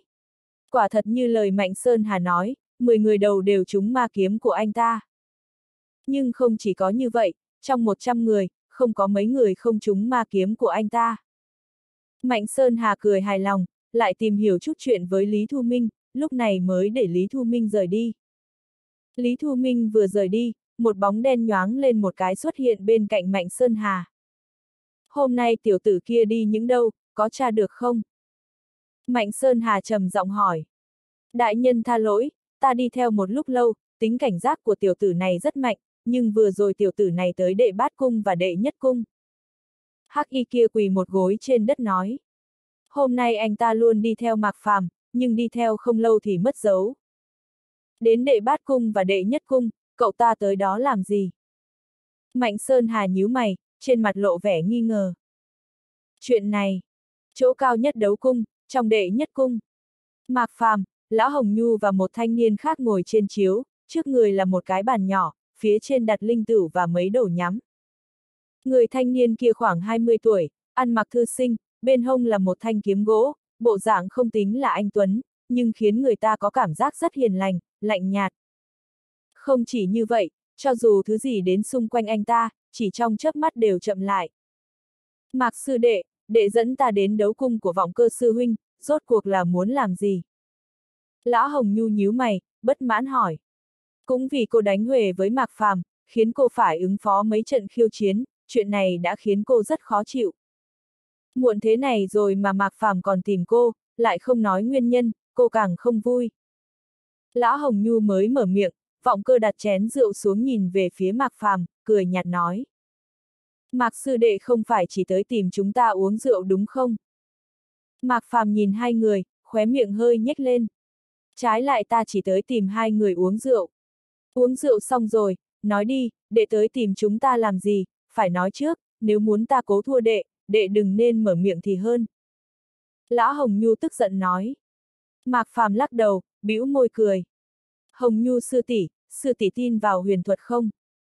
Lão Hồng Nhu nhíu mày, ánh mắt lạnh lẽo vài phần. Ta tin huyền thuật, nhưng đệ muốn nói với ta, nếu không làm theo lời đệ nói, sau này sẽ có tai nạn gì đúng không? Nếu là như vậy, ta khuyên đệ mất ý niệm này đi. Người bình thường sẽ hoài nghi thiên mệnh huyền thuật là thật hay giả, nhưng tu sĩ thì ít như vậy. Một khi thành tu sĩ, thực lực càng mạnh, cảm ứng nguy hiểm sẽ càng mạnh. Bọn họ chỉ cảm ứng, nhưng thuật sĩ am hiểu thiên mệnh huyền thuật có thể nhìn thấy nguy hiểm rất rõ ràng, không thể không khiến bọn họ tin. Trong thiên mệnh huyền thuật nổi tiếng nhất, là Nam Cung Kỳ Sơn. Hồng Nhu Sư tỷ sẽ không có chuyện gì, Hồng Nhu Sư tỷ sẽ bái nhập môn hạ thần nông tông, trở thành một luyện đan sư. Mạc Phàm cũng không tức giận, cười nói. Hồng Nhu sư tỷ vẫn luôn như vậy, tính cách nôn nóng và luôn nói thẳng, trái tim không xấu xa. Đệ thật sự biết thiên mệnh huyền thuật sao? Sắc mặt lão Hồng Nhu thay đổi, nói. Cô tới tham gia hải tuyển, không phải vì lấy được vị trí số 1, đại diện tham gia hải tuyển của thần Nông Tông, là vì tiến vào thần Nông Tông, học thuật luyện đan. Nhưng cô chưa từng nói với ai chuyện này, vậy mà Mạc Phàm đoán được. Hồng Nhu sư tỷ nhìn thứ này thì biết, Mạc Phàm lấy lệnh bài Nam Cung Thanh cho hắn ra, nói. Nam Cung Kỳ Sơn, để có quan hệ gì với Nam Cung gia Kỳ Sơn? Vẻ mặt lão Hồng Nhu khiếp sợ, ánh mắt nhìn Mạc Phàm thay đổi. Thế lực Nam Cung gia Kỳ Sơn không kém gì thần nông tông, Mạc Phàm không họ Nam Cung, đã có lệnh bài Nam Cung gia, chắc chắn có quan hệ với Nam Cung gia. Xem như là vậy. Mạc Phàm thản nhiên nói. Thì sao, đệ muốn chúng ta làm gì? Lã Hồng Nhu nói tiếp. Ngày mai ta sẽ khiêu chiến từ đệ bát cung tới đệ nhất cung, nếu gặp hai vị, nếu ta đánh bại hai người, ta hy vọng hai người tạm thời rời khỏi, đợi tới cuối cùng lại xuất hiện, ta sẽ quét tuyển thủ tới khi không có bất luận uy hiếp gì tới hai người. Ngoài ra ta hy vọng vọng cơ sư huynh đừng đạt vị trí số 1, nếu sư huynh lấy được vị trí số 1, sẽ trở thành đồ đệ của trưởng môn, nhưng trong đại bỉ của tông môn, sư huynh sẽ trở thành một phế nhân, trong coi điển tàng tháp của thần nông tông tới giả. Mạc Phàm do dự một lát, vẫn nói. Vọng cơ khẽ nâng mí mắt, liếc mắt nhìn Mạc Phàm với vẻ kỳ lạ. Mạc sư đệ, nếu đệ có thể đánh bại ta, ta làm theo lời đệ nói cũng không sao, nhưng thiên mệnh huyền thuật cần hao phí tuổi thọ đúng không? Vì sao đệ chỉ sử dụng thiên mệnh huyền thuật với chúng ta rồi khuyên chúng ta rời đi, có thể nói cho chúng ta biết chuyện này được không? Anh ta và Mạc Phàm không quen biết từ trước, Lão Hồng Nhu cũng như vậy, trên Mạc Phàm có tám cung, Mạc Phàm chỉ đi tìm hai bọn họ, chuyện này hơi kỳ lạ. Có thể nói cho hai người, nhưng hai người chắc chắn phải biết sao. Mạc Phàm nghĩ một lát, hỏi. Nếu những lời đệ nói khiến ta tin, ngày mai ta sẽ rời đi, đợi cuối cùng mới trở về, không nói thì ngày mai quyết tử chiến đi. lão Hồng Nhu để chén rượu xuống, nói. Thuyết phục sư tỷ rất đơn giản, hôm nay có người mời sư tỷ giúp luyện đan đúng không hẳn là cần mấy ngày, cho dù ta không tìm Hồng Nhu sư tỷ, Hồng Nhu sư tỷ cũng sẽ rời đi. Mạc Phàm cười nhạt nói. Trung Tử Kỳ đã tìm Hồng Nhu sư tỷ luyện đan, hơn nữa dựa theo lời Trung Tử Kỳ nói, cô đã nói điều kiện khiến Hồng Nhu sư tỷ không thể từ chối. Chuyện này, sao đệ cũng biết. Lão Hồng Nhu lại sửng sốt.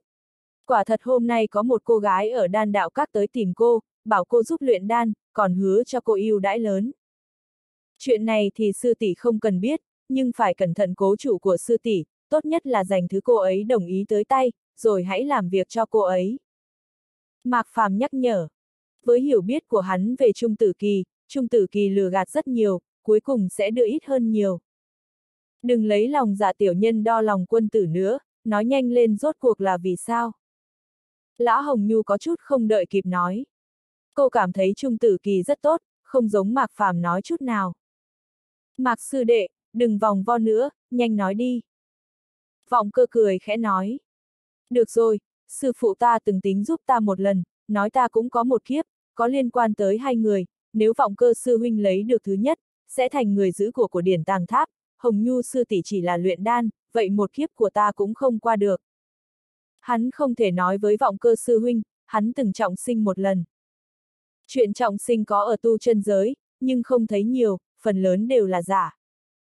Giải thích như vậy, vọng cơ sư huynh và Hồng Nhu sư tỷ sẽ càng tin hơn. Vậy sao? Vọng cơ nhíu mày, dáng vẻ đăm chiêu. Có thể nói cho ta biết, người phế ta là ai không? Anh ta tự thấy tu vi và thiên phú đều không tệ lắm, cho dù không đánh lại được cũng có thể giữ mệnh, hẳn là không tới mức bị người ta phế bỏ. Thiên tài của ngạo Nhật Sơn Tông, Long Ngạo Thiên, lúc anh ta đấu với sư huynh đã đại thành Thái Dương chi thể, hơn nữa Tu Vi đang ở hóa thần và nửa bước hóa thần, không chỉ phế bỏ sư huynh, từng đối thủ của anh ta không chết thì phế. Trong mắt Mạc Phàm hiện lên sắc bén, nói. Long Ngạo Thiên, chẳng trách, ta đồng ý với điều kiện của đệ. Vọng cơ hiểu ra nói. Làm sao thế, vọng cơ sư huynh, người này rất lợi hại sao? Lã Hồng Nhu tò mò hỏi. Chỗ cô ở cách ngạo Nhật Sơn Tông rất xa, đây là lần đầu tiên cô nghe nói tới Long Ngạo Thiên. Có lợi hại hay không ta không biết, lúc ta rời đi, một mệnh sư có tính mệnh cho ta, nhất định phải tránh người tên là Long Ngạo Thiên, nếu không đại đạo sẽ bị chảm. Vọng cơ không giấu giếm, giải thích. Thật sao, chuyện này. Vẻ mặt Lã Hồng Nhu ngây ngốc, ánh mắt nhìn Mạc Phàm thay đổi hơn nhiều. Cô cảm thấy Mạc Phàm đang nói dối, ai biết Mạc Phàm nói đúng về vọng cơ như vậy. Vậy ta cũng đồng ý. lão Hồng Nhu do dự một lát, nói. Nhận được câu trả lời của hai người, Mạc Phàm hơi thở phào nhẹ nhõm. Thuyết phục hai người này, ngày mai hắn có thể chơi với Mạnh Sơn Hà rồi. Sáng sớm hôm sau, cách kết thúc hải tuyển ít đi một ngày, đại môn đấu cung vẫn không mở ra, cửa bên ngoài đấu cung tụ tập lượng lớn võ giả. Nhưng cửa đấu cung mới mở ra, võ giả không khiêu chiến đệ thập cung và đệ bát cung như hôm qua, mà tới trước cửa đệ cửu cung của Mạc Phàm, có khoảng chừng trên trăm người.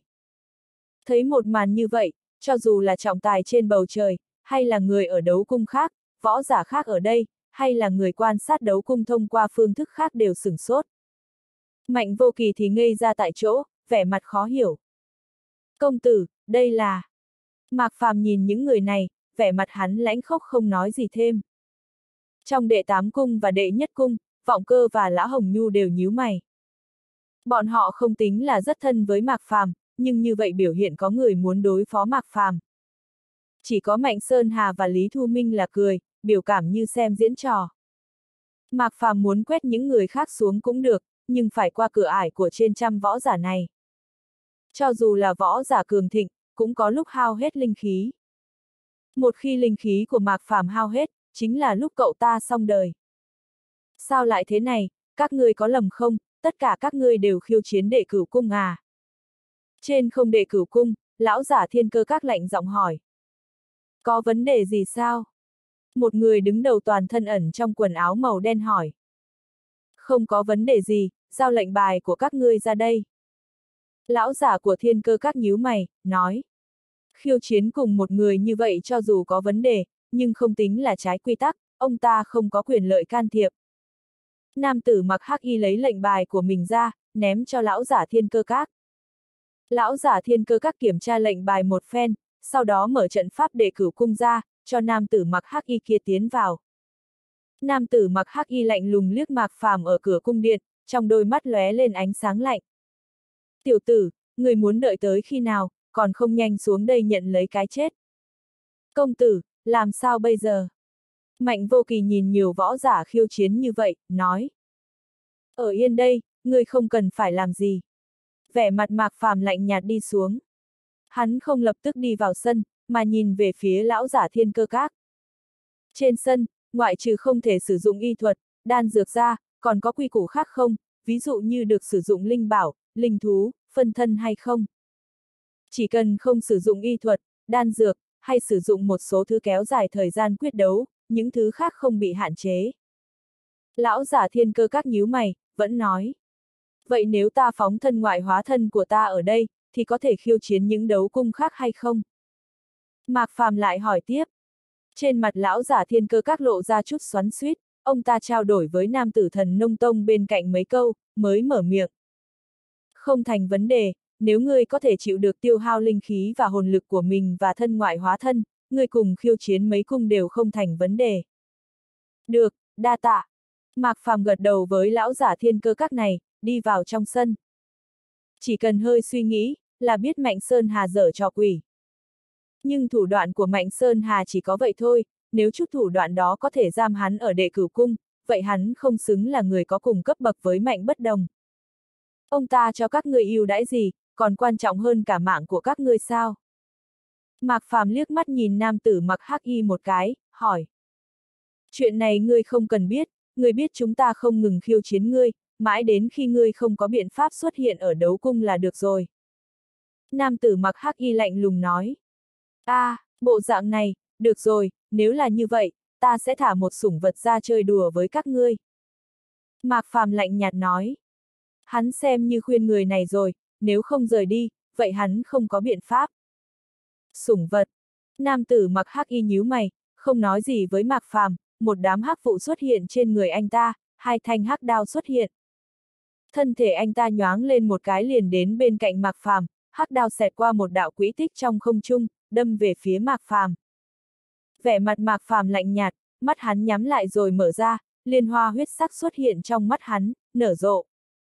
Ra đi, tiểu hắc. Giọng nói vừa vang lên, tiếng long ngâm cũng vang lên theo. Giống, long ảnh màu đen bay từ trong mắt hắn ra, chỉ trong chớp mắt đã to thành một người.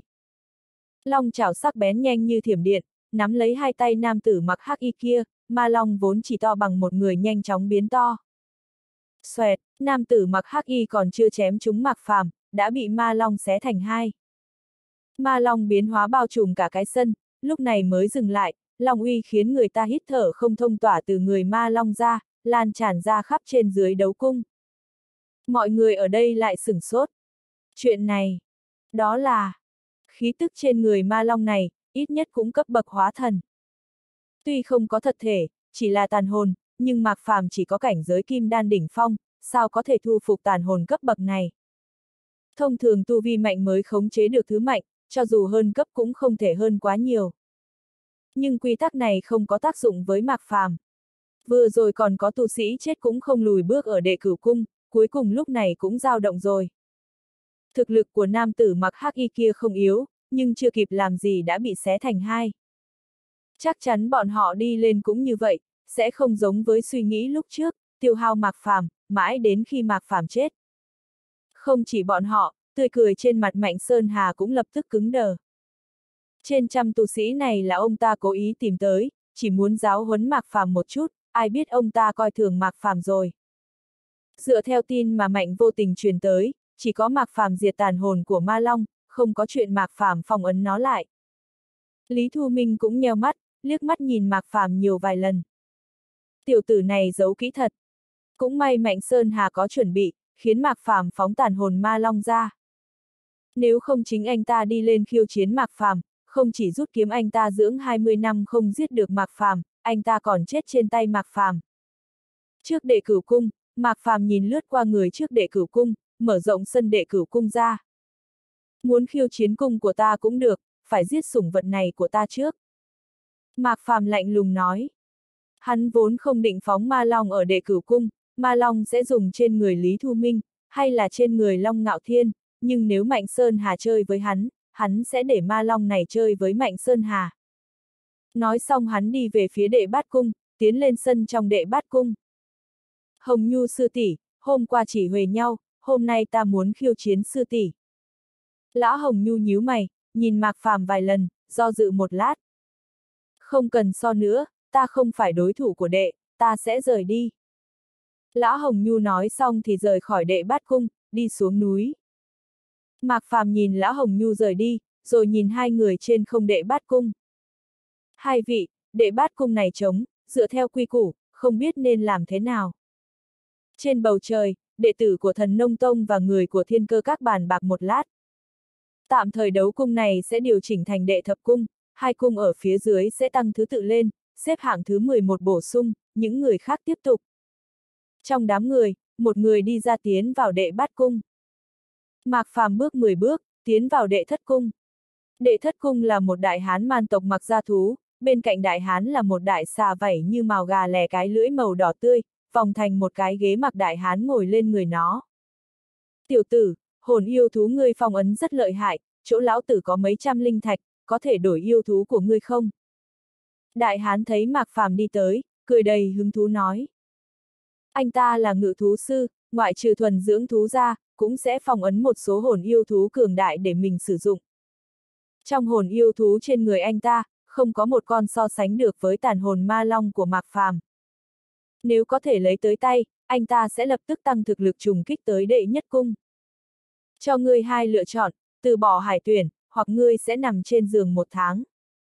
Mạc Phàm không để ý tới đại hán man tộc này, vẻ mặt hắn không đổi nói. kiếp trước có khả năng những người này vào thần nông tông, nhưng không có nhiều quan hệ với hắn, hắn không quản nhiều như vậy rồi. Bảo lão tử từ bỏ hải tuyển, có thể, nhưng ngươi phải hỏi đại xà của ta trước, xem nó có đồng ý hay không. Đại hán man tộc nhíu mày, lập tức cười miễn nói. Đương nhiên không chỉ có đại xà, còn những con khác nữa. Đại hán lấy 11 cái chuông ra, ném lên trên đất. Leng keng leng keng. Tiếng chuông vang lên, một đám xương khói bay ra. Xương khói tán đi, rất nhiều yêu thú giống chuột, trâu, lão hổ nhưng hung ác hơn nhiều xuất hiện, có tổng cộng 11 con, mỗi con to như ngọn núi nhỏ, vây quanh hết cái sân, khí tức hung hãn lan tràn ra bốn phía.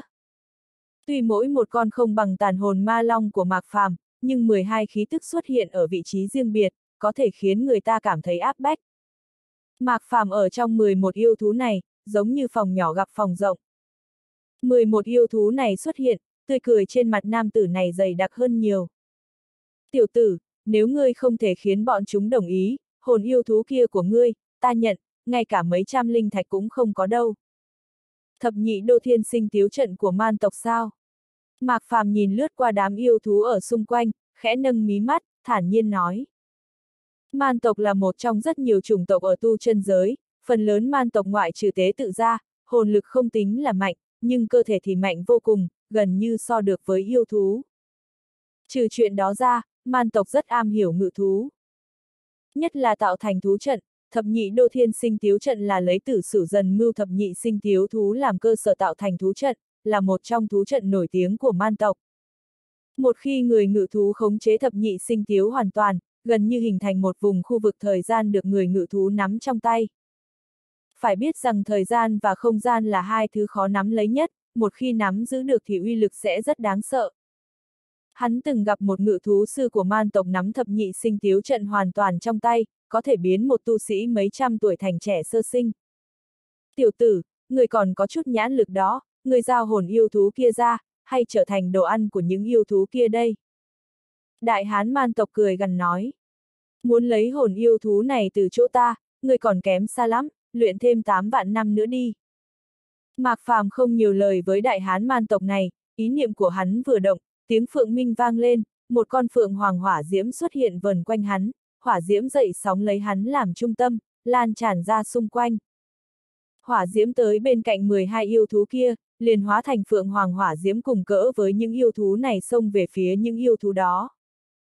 Ánh mắt mạc phàm rét lạnh, miệng niệm thần chú, một vùng phù văn lập tức xuất hiện trên người hắn, thân thể hắn nhoáng lên một cái, trực tiếp tới bên cạnh đại hán, năm ngón tay hắn nắm chặt, ánh sáng bảy màu được hắn nắm trong lòng bàn tay, một quyền của hắn đánh về phía đại hán man tộc. Đại hán man tộc thấy mạc phàm phi thân mà đến, cũng không lúng túng, một chữ truyền ra. Sửu, yêu thú hình châu hình thể như ngọn núi nhỏ, cơ thể như do nước thép đúc ra lập tức tránh thoát phượng hoàng hỏa diễm của mạc phàm, chắn trước người đại hán man tộc. Chân châu khổng lồ, giống như thiên trụ dẫm về phía mạc phàm. Đồng thời trên người thập nhị yêu thú nở rộ hào quang, xung quanh lập tức yên lặng lại, trái lại chân của yêu thú hình châu như thiểm điện, đến trước người mạc phàm. Cái chân to sắp dẫm lên người mạc phàm, phù văn ở trên người mạc phàm sáng lên, cơ thể khôi phục như thường. Hắn nhíu mày, một quyền vốn đánh về phía nam tử man tộc lại đánh xuống người con trâu này, chỉ trong chớp mắt ánh sáng bảy màu nở rộ. Giống, yêu thú hình trâu cỡ ngọn núi nhỏ kêu thảm thiết, âm thanh xương cốt nứt vụn vang lên. Bắt đầu từ chân yêu thú hình trâu, mãi cho tới cột sống, chỉ trong chớp mắt đã nứt vụn. Cơ thể to lớn nổ tung bị hủy non nửa dưới quyền kình này, phần còn lại bay về một phía. Sắc mặt đại hán man tộc thay đổi, một yêu thú bị thương anh ta không có cảm giác gì, nhưng sao Mạc Phàm có thể thoát khỏi thập nhị đô thiên sinh thiếu trận, anh ta rất muốn biết. Anh ta có thể khống chế thập nhị sinh thiếu thú, cùng với khống chế một ít thay đổi thời gian. Tuy là rất ngắn, nhưng đủ để giết một người, đổi lại là những người khác vẫn bị giết như cũ, nhưng gần như không có tác dụng với Mạc Phàm. Lúc anh ta khiếp sợ, đồng thời không nghi ngờ gì nữa, ma văn ở trên người bắt đầu chuyển động, một quyền không do dự đánh về phía đầu Mạc Phàm. Theo một quyền này đánh về phía Mạc Phàm, trên ma văn như có dây điện thông nhau, lực lượng tụ tập vào nắm tay của anh ta, chỉ trong chớp mắt đã tới trước người Mạc Phàm. Vẻ mặt Mạc Phàm lạnh nhạt, lại đánh một quyền nghênh đón đại hán man tộc. Bùm, một tiếng thật to, quả đấm của Mạc Phàm và đại hán man tộc đụng vào nhau. Cơ thể hai người chấn động, mỗi người đều lùi nửa bước. Tiểu tử, thần thể tam cấp chỉ có vậy mà thôi, không mạnh hơn man tộc chi thể chúng ta chỗ nào, nếu vậy ngươi có thể đi chết đi. Đại hán man tộc thấy Mạc Phàm bị ngăn cản, cười đắc y nói. Hôm qua Mạc Phàm biểu lộ thần thể, anh ta vốn hơi e sợ thần thể của Mạc Phàm, nhưng thần thể của Mạc Phàm yếu hơn anh ta nghĩ nhiều. Những lời này vừa vang lên, trên nắm đấm của anh ta có hắc khí như xà xuất hiện, không đợi Mạc Phàm phản ứng kịp, đã quấn lấy Mạc Phàm. Đây là thú hồn của yêu xà ngàn năm, là một trong những thú hồn phong ấn trên người anh ta, tuy không có thật thể nhưng có thể trói buộc linh hồn con người. Một khi linh hồn bị trói buộc, cơ thể sẽ không thể nhúc nhích. Tiểu Hồng, ăn nó cho ta. Đại hán man tộc thấy Mạc Phàm bị thú hồn trói chặt, cười nói. Trên người đại xà ở phía sau anh ta đại phóng hồng quang, trực tiếp biến mất. Khi xuất hiện lần nữa đại xà đã quấn trên người Mạc Phàm, mồm to như bồn máu mở ra, một vòng xoáy huyết sắc xuất hiện trong miệng yêu xà, cắn về phía Mạc Phàm. Thấy Mạc Phàm bị thú hồn và yêu thú của đại hán man tộc quấn lấy, đám mạnh vô kỳ lập tức lộ ra chút lo lắng. Chuyện này, người ở trước đề cửu cung thở phào nhẹ nhõm, tươi cười xuất hiện trên mặt bọn họ. Bọn họ tưởng rằng nhiệm vụ sắp thất bại, xem ra Mạc Phàm cũng không có bản lĩnh lớn lắm, mới hai cung đã không đỡ được. Một số người lại lộ vẻ tiếc nuối. Mạnh sư huynh, tiểu tử này không tệ, hay là chúng ta làm gián đoạn trận đấu nhé? Ở cách đấu cung không xa, trên một đài cao, nam tử cầm chàng hạt hỏi. Mạc Phàm có được huyết mạch hồng liên, đáng để bọn họ bồi dưỡng. Mạc Phàm lại phong ấn hồn yêu thú mạnh như vậy, cho dù tham gia đại bỉ, cũng không bị loại rất nhanh. Ngoài ra Mạc Phàm vừa chống đỡ hồn yêu thú bị tiêu hao, vừa đại chiến với nam tử man tộc, chuyện này rất khó. Dù sao hồn yêu thú không chỉ tiêu hao linh khí của Mạc Phàm, còn cần phân thân của Mạc Phàm khống chế, người bình thường có thể lấy hồn yêu thú ra, cũng không chống đỡ được bao lâu. Càng khó chính là, rất ít người làm được hai việc cùng lúc. Bọn họ thân là trưởng lão phụ trách hải tuyển của thần nông tông lần này, nếu đều đồng ý, bọn họ có quyền lợi cho Mạc Phàm một danh ngạch. Ta thấy không thành vấn đề, Mạnh sư huynh, tiểu tử này là người của Mạnh gia huynh, huynh cảm thấy thế nào? Trong đám Mạnh Sơn Hà, nữ tử họ Lương hỏi. Cô rất hâm mộ Mạc Phàm, bất thuyết biệt đích, Mạc Phàm có thể bình tĩnh đối mặt với hơn trăm người khiêu chiến như vậy, rất không đơn giản. Hiện giờ hắn bị thú hồn và yêu thú quấn lấy, sẽ bị đánh bại. Ta không đồng ý, nếu là người mạnh gia, thì càng không thể cho cậu ta danh ngạch này, tránh để người ta nói mạnh gia thiên vị, ngoài ra nếu ngay cả cửa ải này mà cậu ta không thể xông qua, thì không phải người của mạnh gia ta, mạnh gia chúng ta không nuôi phế vật. Mạnh Sơn Hà lạnh lùng nói, nhưng trong mắt hiện lên vẻ đắc ý. Mạc Phàm chống đỡ được trăm người ông ta tìm tới thì thế nào, không phải bây giờ vẫn bị võ sĩ man tộc chế trụ sao? Muốn đấu với mạnh gia ông ta, còn kém xa. Chuyện này, nữ tử họ lương và nam tử cầm chàng hạt nhíu mày, không nói gì nữa, ba người tiếp tục nhìn về phía đấu cung. Trong đệ thất cung, Mạc Phàm nhìn thoáng qua thú hồn và đại xà hồng lân trên người hắn, nhíu mày nói. Người cảm thấy mấy con này có thể giết được ta sao? Chẳng lẽ không thể sao? Nam tử man tộc cười lạnh lùng, nói với vẻ khinh thường. Không phải ngươi muốn tàn hồn ma long của ta sao, ta cho ngươi, nhìn xem ngươi có thể thu nó hay không.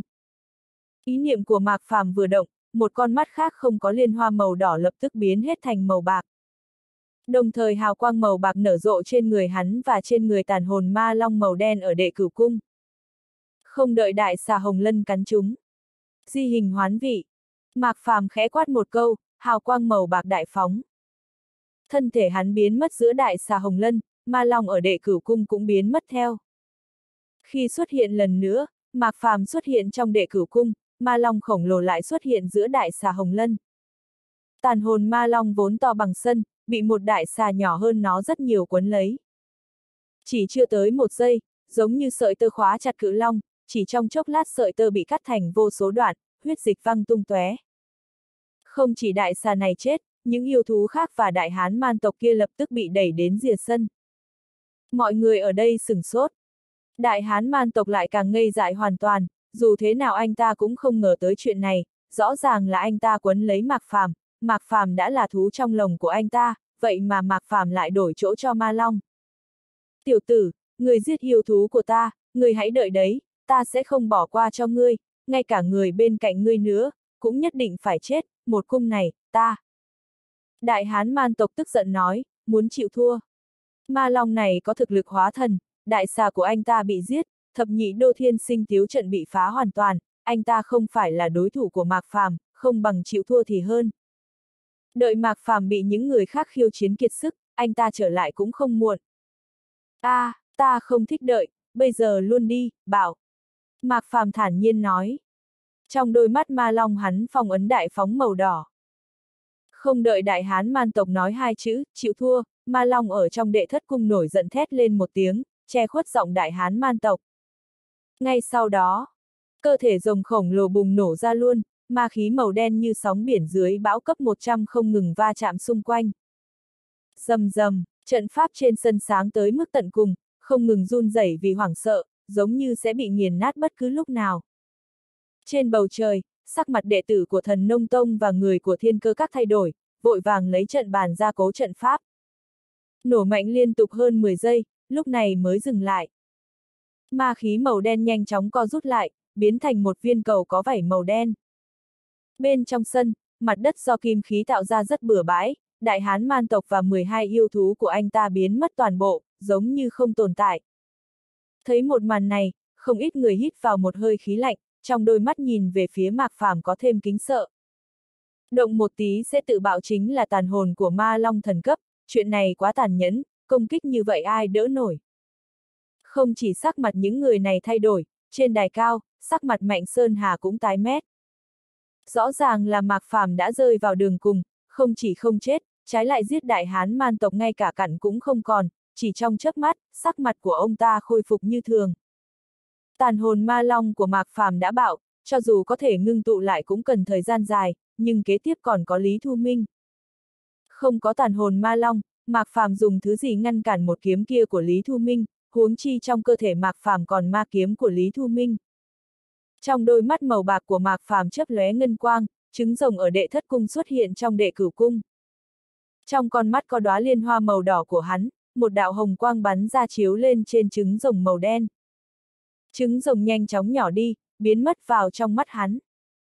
Mắt hắn nhắm lại rồi mở ra, lúc mở ra, long ảnh màu đen bay từ trong mắt hắn ra ngoài, lại biến thành to bằng sân đấu.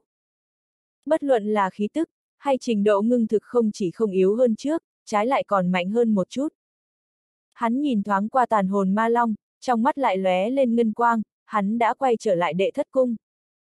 Hắn nhìn thoáng qua đệ tứ cung chỗ Lý Thu Minh, rời khỏi đệ thất cung, tiếp tục đi lên. Trong đệ lục cung, một nam tử dâu ria xồm xoàm thấy Mạc Phàm đi tới, vẻ mặt nghiêm trọng nói. Mạc Phàm, người nhất định phải làm vậy sao? Anh ta mạnh hơn nam tử man tộc ở đệ thất cung một chút, nhưng không đỡ được ma long tự bảo. Nếu ma long của Mạc Phàm lại tự bảo, chắc chắn anh ta cũng sẽ như nam tử kia. Ngại quá, chỉ có hai lựa chọn, rời đi hoặc tiếp nhận khiêu chiến của ta. Mạc Phàm vô cùng bình tĩnh nói. Như vậy ta muốn đánh cược một phen. Nam tử ở đệ lục cung do dự một lát nói. Cơ hội tiến vào thần nông tông, không người nào nguyện ý từ bỏ. Mạc Phàm mới tự bạo ma long, tuy lại gọi ra, nhưng chưa chắc Mạc Phàm có thể tự bạo như trước. Mất đi ma long, Mạc Phàm chưa chắc đã mạnh hơn anh ta, từ vừa rồi Mạc Phàm bị đại hán man tộc nhốt là có thể nhìn ra, mà anh ta còn mạnh hơn đại hán man tộc vừa rồi. Một tay đại hán vươn ra, một thanh kiếm xuất hiện trong tay anh ta, ánh sáng bảy màu lập tức nở rộ, che khuất trọn sân đấu. Đồng thời phía sau đại hán, một đám bóng dáng giống anh ta như đúc cầm kiếm quang giống nhau đi ra, có tổng cộng 24 người, tạo thành vòng tròn vây quanh Mạc Phàm. 24 thanh kiếm đều nở rộ ánh sáng bảy màu, tương giao hô ứng, khiến không gian trong sân nhìn vô cùng vặn vẹo. Rõ ràng chỉ có 24 bóng dáng, nhưng phóng tầm mắt nhìn, lại giống như có trên trăm cái. Trong không gian vặn vẹo, vẻ mặt mạc phàm lạnh nhạt nói. Tam thiên lưu quang kiếm, chẳng trách ngươi có thể ở đệ lục cung. Vừa rồi thập nhị đô thiên sinh tiếu trận có thể khống chế thời gian, lưu quang kiếm này luyện tới mức tận cùng, sẽ là một loại kiếm pháp có thể khống chế không gian. Dựa theo kinh Phật, 3.000 thế giới, trong mỗi thế giới có một mình. Tam thiên lưu quang kiếm mượn lưu quang, chiếu mình trong những thế giới này đến. Thực lực càng mạnh, thế giới chiếu xạ cũng càng nhiều. Cho nên 24 người này không phải phân thân, cũng không phải bóng dáng, là nam tử này trong thế giới khác. Những nam tử trong thế giới khác có thể giết hắn, nhưng hắn không thể thương tổn tới bọn họ. Bởi vì 24 người này đều là cùng một người, chân thân ẩn giấu ở bên trong, căn bản không thể phân rõ. Cho nên một khi tu luyện tam thiên lưu kiếm quang thành công, đều rất phiền phức. Tuy nam tử này chỉ có 24 người, đã xem như rất ghê gớm rồi. Không sai, thỉnh chỉ giáo. 24 giọng nói vang lên từ các phía khác nhau, kiếm quang bảy màu đâm tới với các góc độ khó mà tin. Những kiếm quang này mới đâm ra, còn chưa đâm trúng người mặc phàm, ánh sáng bảy màu trên kiếm quang đã ngang qua sân, bắn lên trên trận pháp ở sân đấu. Dầm dầm, trận pháp trên sân đấu lập tức bị xuyên thủng, 24 lỗ nhỏ xuất hiện ở phía trên. Sắc mặt không ít người thay đổi. 10 đấu cung, trận pháp trên từng cung không tương đồng, càng lên cao lực trận pháp càng mạnh. Nhưng cho dù là lúc tàn hồn ma long của Mạc Phàm tự bạo, cũng không thể phá trận pháp phòng hộ. Ở đệ lục cung này, kiếm quang này nhìn như bình thường, vậy mà xuyên thủng trận pháp dễ dàng. Đây còn là kiếm quang, nếu bị 24 kiếm quang bảy màu đâm trúng, uy lực khủng bố tới cỡ nào có thể nghĩ được. Thấy 24 kiếm đâm tới, trên mặt Mạc Phàm vẫn không có chút dao động. Tam Thiên Lưu Quang kiếm, Ngươi mới tu được 24 đạo, nếu ngươi tu đến 36 còn có cơ hội đánh cược với ta một lần. 36 đạo lưu quang là mấy tuần nhỏ, không chỉ khúc xạ thêm được ít người, còn có thể khiến không gian yên lặng, nhưng người này còn chưa đủ. 24 đạo là đủ rồi. Nam tử nhíu mày, lạnh lùng nói. Giọng nói vừa vang lên, một đạo kiếm quang như vì sao nhanh chóng hạ xuống gáy Mạc Phàm. Vậy sao, người xem đây là gì? Mạc Phàm nheo mắt lại, trong lòng bàn tay có ấn ký hình đao sáng lên, tay với vào trong hư không. Lúc rút ra, một quang đao thanh đồng chậm rãi được rút từ trong hư không ra. Đại đao có màu xanh, phía trên khắc đầy ma văn phức tạp. Chuôi đao có một thứ gì đó tương tự bóng mặt trời, văn tự chữ triện đánh dấu một ngày 12 canh giờ. Chuôi đao này mới được rút ra một nửa, không gian vặn vẹo ở xung quanh bị nghiền nát, quay trở lại dáng vẻ như ban đầu. Thanh kiếm thứ nhất đâm tới, vừa đến trong phạm vi này của Mạc Phàm, cộng cả bóng dáng cầm kiếm trực tiếp hóa thành cho bụi. Thấy thanh đao mà Mạc Phàm rút ra, sắc mặt nam tử kia thay đổi. Hỗn nguyên nghịch quang đao, sao người có thể ngưng tụ ra được? Tam thiên lưu quang kiếm của anh ta là khúc xạ 3.000 thế giới, mà hỗn nguyên nghịch quang đao thì quy toàn bộ trở về trạng thái hỗn độn, là khắc tinh của tam thiên lưu quang kiếm. Nhưng muốn sử dụng hỗn nguyên nghịch quang đao ngoại trừ biết công pháp nghịch quang đao ra, còn cần hỗn nguyên chi khí trên người, hỗn nguyên chi khí còn cao cấp hơn thái âm thái dương, rất ít người có thể tu luyện ra, cho nên không có nhiều người khắc chế được tam thiên lưu quang kiếm. Anh ta thật sự không ngờ tới, vậy mà có thể gặp phải ở đây. Keng, âm thanh kim khí va vào nhau vang lên, hỗn nguyên nghịch quang đao được Mạc Phàm rút ra hoàn toàn. Rõ ràng là quang đao, nhưng giống như do kim khí tạo ra, không chỉ nặng còn có tính chất của kim khí. Quang đao được kéo ra hoàn toàn, một nửa sân khôi phục bình thường. Trong phạm vi này, lại có mấy bóng dáng biến mất. Từ bỏ, hay là thử uy lực của nghịch quang đao một lần đây? Mạc Phàm không trả lời, quang đao chỉ về phía nam tử kia lạnh giọng hỏi. Hắn tu luyện cửu chuyển hỗn nguyên công, đã tam chuyển, muốn ngưng tụ một số hỗn nguyên chi lực đơn giản hơn trước nhiều, ngưng tụ nghịch quang đao có khó gì. Nam tử kia nheo mắt lại, đôi mắt đảo liên tục, lưu quang kiếm trong tay biến mất, bóng dáng khúc xạ ra cũng biến mất theo. Ta từ bỏ. Nghịch quang đao là khắc tinh của lưu quang kiếm không thể nghi ngờ, quả thật như lời Mạc Phàm nói, anh ta ngưng tụ 36 đạo trở lên mới có khả năng là đối thủ của Mạc Phàm, hiện giờ anh ta khiêu chiến Mạc Phàm, chỉ tự tìm đường chết. Nam tử lôi thôi lấy lệnh bài đệ lục cung ra, ném về phía bầu trời, sau đó anh ta xoay người rời đi. Anh ta mới đi hai bước thì dừng lại. Nhưng ta sẽ nhớ kỹ ngươi. Đối với anh ta mà nói, tiến vào thần nông tông gần như tương đương với một bước lên trời, nhưng Mạc Phàm lại chặt đứt con đường đó của anh ta. Người cắt đứt đường tài lộc của người ta, đồng nghĩa với việc giết cha mẹ, thù này anh ta tạm từ bỏ, nhưng sẽ không quên. Ta đợi ngươi tìm ta báo thù, nếu ngươi không sợ chết. Mạc Phàm giống như đã sớm dự đoán được, nói với vẻ khinh thường. Nếu hắn làm như vậy, đã làm tốt chuẩn bị bị người ta ghi hận. Muốn tới thì cứ việc tới, lần này hắn không ra tay, lần sau sẽ không lưu tình. Nói xong hắn rời khỏi đệ lục cung, vừa đến đệ ngũ cung còn chưa kịp vào. Muốn tiến vào đại tông phái thực phiền phức, ta từ bỏ. Trong đệ ngũ cung, một thanh niên nhìn có vẻ bất cần đời, ngậm một cọng rơm trong miệng duỗi thắt lưng, để lại lệnh bài rồi xoay người rời đi. Mạc Phàm liếc mắt nhìn người thanh niên này một cái, hắn hơi nhớn mày, nhưng không nói gì thêm, nhìn về phía đệ tứ cung của Lý Thu Minh. Khiêu chiến nhiều như vậy, cuối cùng cũng tới chỗ Lý Thu Minh rồi. Lúc Mạc Phàm nhìn về phía Lý Thu Minh, trong mắt Lý Thu Minh lóe lên ánh sáng lạnh, cũng đang nhìn về phía Mạc Phàm. Tiểu tử, người không chỉ có can đảm, còn có chút thực lực, vậy mà có thể tới trước mặt ta, nhưng chỉ đến đây còn chưa được, ta ở phía trên đợi ngươi, có bản lĩnh thì lên tiếp đi, không có bản lĩnh mà nói, vậy ta cũng không có biện pháp rồi, Lý Thu Minh nói xong, lập tức đi lên trên, đi vào đệ tam cung. Miệng anh ta cử động vài lần, không biết nói gì. Trong đệ tam cung, ôn thủy hàn chịu thua. Đệ nhị cung, tương thành cũng chịu thua. Lý Thu Minh nhìn thoáng qua vọng cơ ở đệ nhất cung, không tiếp tục đi lên trên nữa, anh ta vươn một tay ra khiêu khích Mạc Phàm. Thấy động tác khiêu khích của Lý Thu Minh, không ít người lập tức thoải mái. Nhìn dáng vẻ này của Lý Thu Minh xem ra là có thủ oán với Mạc Phàm. Không có khả năng nhiều người tự động đi khiêu chiến một người như vậy, nhất là hơn trăm người.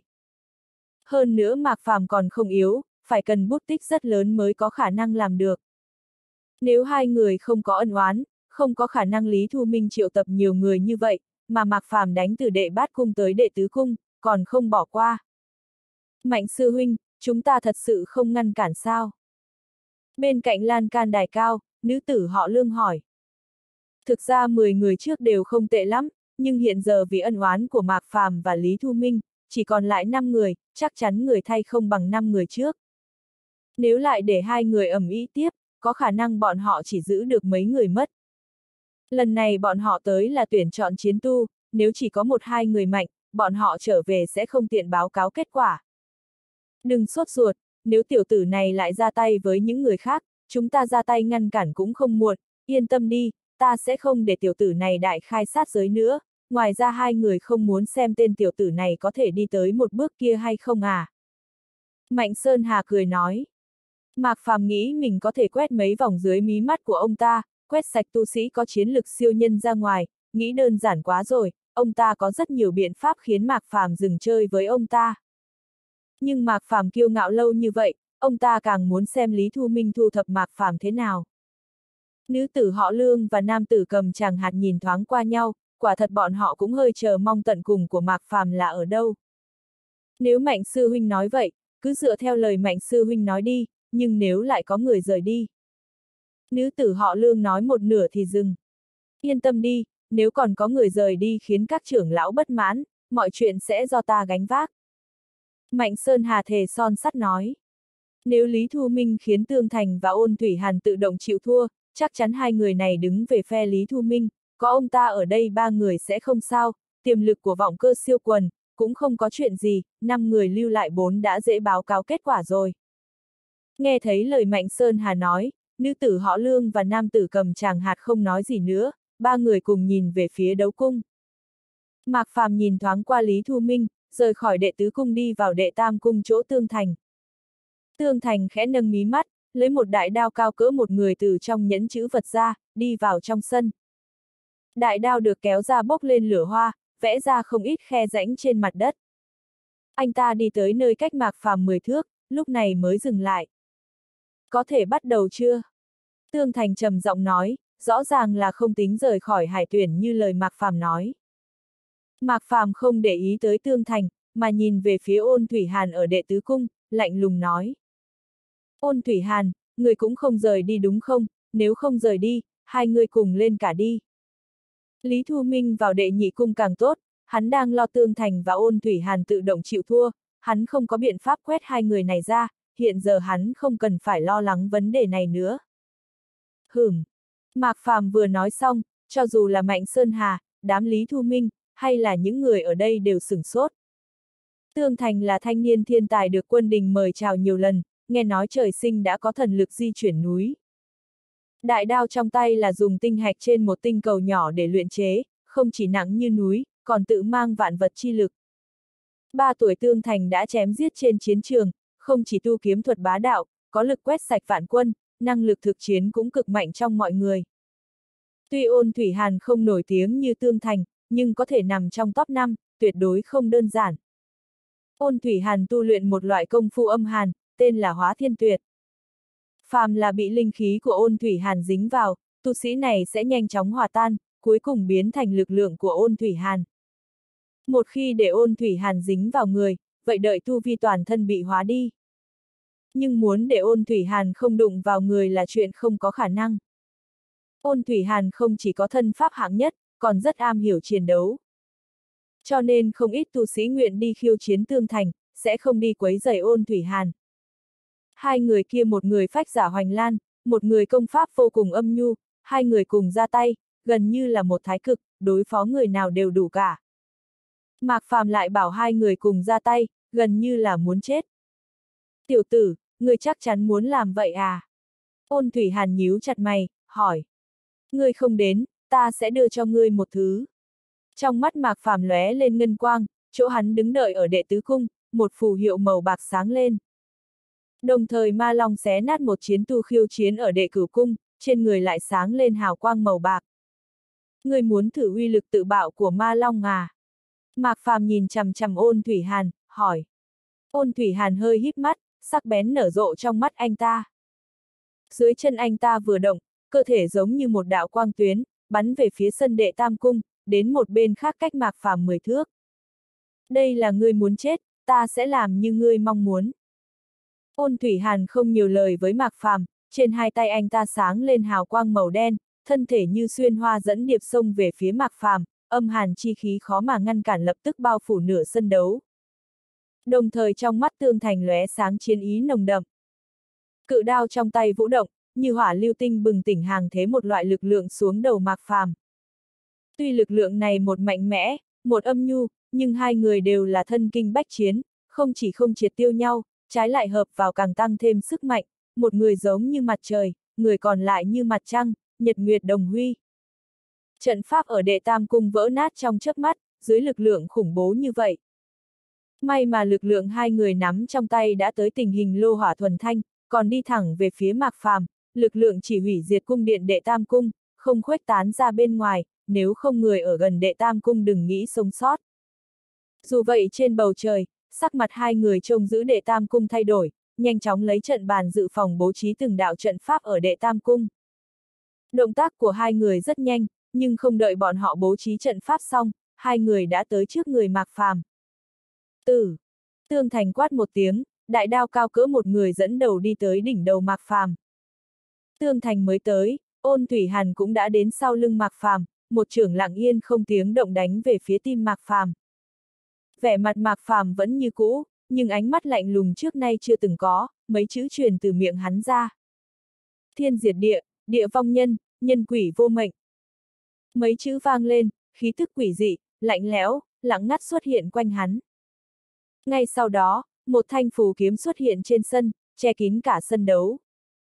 Cùng lúc đó, một tay mạc phàm vươn ra, phù văn xoay tròn xung quanh tay hắn, chỉ trong chớp mắt đã ngưng tụ thành mệnh kiếm. Hắn cắm mệnh kiếm xuống đất, một chữ cuối cùng truyền từ miệng hắn ra. Tật. Chữ này vừa vang lên, không để người nào phản ứng kịp, phù kiếm bao trùm khắp sân đấu đâm về phía Tương Thành và ôn Thủy Hàn. Không hay rồi. Hai người nổi giận thét lên một tiếng, mặc kệ mạc phàm, thân thể hóa thành lưu quang lao ra ngoài sân. Nếu là phù kiếm bình thường, bọn họ chống lại là được, nhưng phù kiếm này khiến bọn họ có cảm giác mệnh huyền nhất kiếm.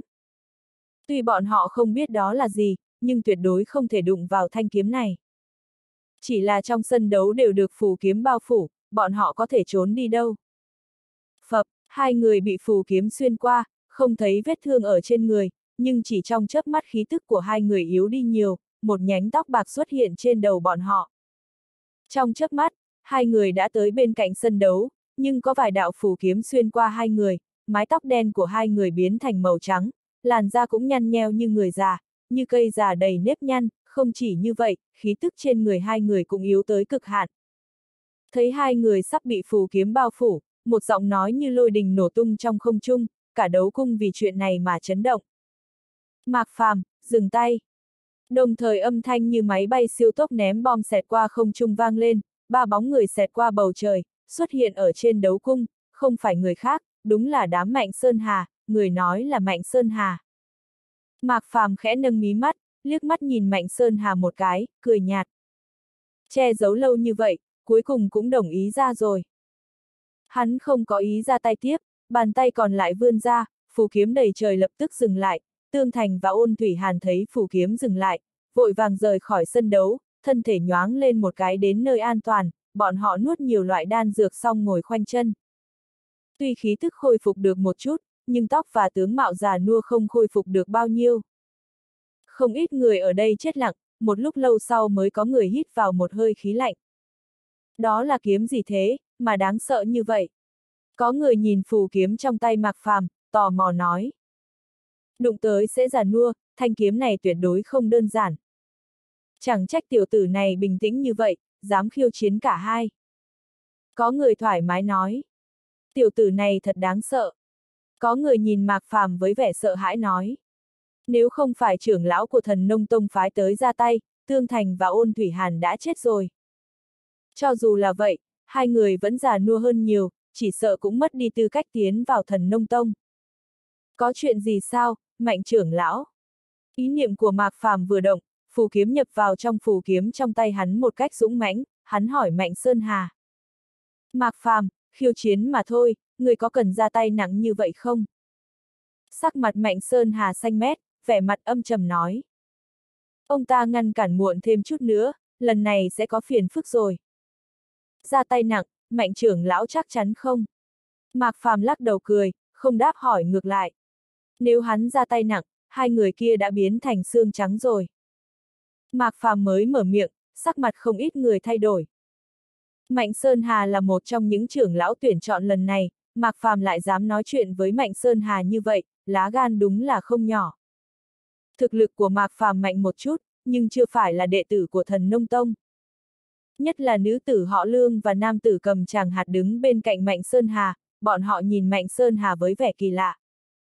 Mạc Phàm là người của Mạnh gia, hình như quan hệ của hai người không hài hòa như vậy.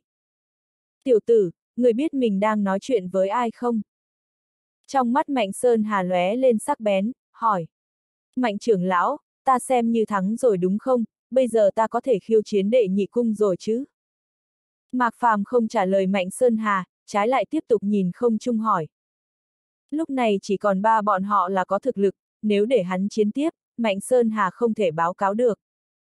Trên bầu trời, trên 10 đấu cung, 10 đệ tử của thần Nông Tông và 10 người của thiên cơ các đều không nói gì, toàn bộ đều nhìn về phía Mạnh Sơn Hà. Mạnh Sơn Hà nhíu mày, nhìn Lý Thu Minh lại nhìn Mạc Phàm. Ông ta biết thanh kiếm trong tay Mạc Phàm là gì, bị kiếm kia đâm trúng, Tương Thành và Ôn Thủy Hàn chữa trị cũng vô dụng. Như vậy ông ta không dễ báo cáo kết quả công việc, nếu để Mạc Phàm khiêu chiến tiếp, quả thật Lý Thu Minh có thể làm thịt Mạc Phàm. Nhưng cũng có khả năng chỉ còn mình Mạc Phàm là cao thủ. Tối qua Mạc Phàm tới đệ nhất cung chỗ vọng cơ, rất có khả năng vọng cơ sẽ không chiến mà rút lui. Chỉ có mình Mạc Phàm là chiến tu, ông ta trở về cũng phải chịu phạt. Ngoài ra ông ta không phải lấy thúng úp voi, nữ tử họ lương và nam tử cầm chàng hạt cũng có quyền lợi nhất định. Mạnh sư huynh, như vậy được rồi. Nữ tử họ lương thấy Mạnh Sơn Hà do dự, khuyên. Mạnh Sơn Hà nắm chặt tay dưới tay áo dài, rồi lập tức buông ra. Mạc Phàm, thực lực của ngươi đã được chúng ta thừa nhận, đừng lạm sát kẻ vô tội nữa, trong 10 danh ngạch sẽ có tên ngươi. Mạc Phàm chỉ là vai phụ, để Mạc Phàm kiêu ngạo một thời gian trước, đợi vào thần nông tông sẽ có cơ hội thu thập cậu ta. Có tên trong 10 danh ngạch sao? Mạc Phàm nhíu mày hỏi. Không sai, tiểu tử, người có thể nghỉ ngơi rồi. Nữ tử họ lương lấy một lệnh bài của thần nông tông ra, ném về phía Mạc Phàm. Rõ ràng lệnh bài là kim khí, nhưng khẽ bay tới trước người Mạc Phàm. Mạc Phàm giơ tay nhận lấy lệnh bài kia, khóe miệng hơi nhếch lên. Để ta dừng tay cũng được, nhưng ta muốn danh ngạch thứ nhất trong hải tuyển của thần nông tông, nếu không ta chỉ có thể dựa theo quy củ khiêu chiến một cung cuối cùng. Mục tiêu của hắn là tham gia đại bỉ tông môn, không phải cơ hội tiến vào thần nông tông. Ta cảm thấy chuyện này không thành vấn đề, Chúc Sư Huynh, Huynh thấy thế nào? Nữ tử họ lương nhíu mày, nhìn về phía nam tử cầm chẳng hạt. Ta cũng cảm thấy không có vấn đề, tiểu tử này đáng được vị trí số một, Mạnh Sư Huynh, Huynh thấy sao? Nam tử cầm chàng hạt cười nói. Huyết mạch hồng liên, tàn hồn của ma long thần cấp, thần thể tam cấp, mệnh kiếm của quỷ ảnh nhất tộc, còn có linh khí khổng lồ, số một không có vấn đề gì. Chuyện này không công bằng với vọng cơ và Lý Thu Minh lắm đâu. Mạnh Sơn Hà hơi nhếch miệng nói. Ông ta đang lo Mạc Phàm tiếp nhận một danh ngạch như vậy, không nghĩ tới Mạc Phàm muốn nhiều hơn, chuyện này đúng ý ông ta. Nếu đã tới bước này, sao có thể rút lui, ông ta rất muốn biết Mạc Phàm có thể đỡ được một kiếm kia của Lý Thu Minh hay không. Nhưng Mạnh Sư Huynh, nếu hai bọn họ cùng bị thương trên tay Mạc Phàm, ai chịu trách nhiệm? Sắc mặt nữ tử họ lương lạnh lùng, hỏi. Tuy Mạnh Sơn Hà toàn quyền chịu trách nhiệm, nhưng không thoát khỏi liên quan tới hai bọn họ. Ngoài ra sau lưng Mạnh Sơn Hà có mạnh bất đồng, bọn không có bối cảnh cứng rắn như vậy. Không bằng như vậy đi, để bọn họ tự chọn, dù sao muốn tranh thứ nhất là bọn họ, thế nào? Vẻ mặt Mạnh Sơn Hà không đổi, hỏi. Chuyện này, mắt nữ tử họ lương đảo vài cái, muốn nói gì đó nhưng bị nam tử họ trúc ngăn cản. Nếu Mạnh Sư Huynh đã nói vậy, vậy cứ dựa theo lời Mạnh Sư Huynh nói mà làm đi. Mạnh Sơn Hà hơi nhếch miệng, nhìn về phía đám mạc phàm. Cho ngươi danh ngạch thì được, nhưng danh ngạch đứng đầu chúng ta không làm chủ được, phải hỏi hai bọn họ, hai người muốn rời đi không?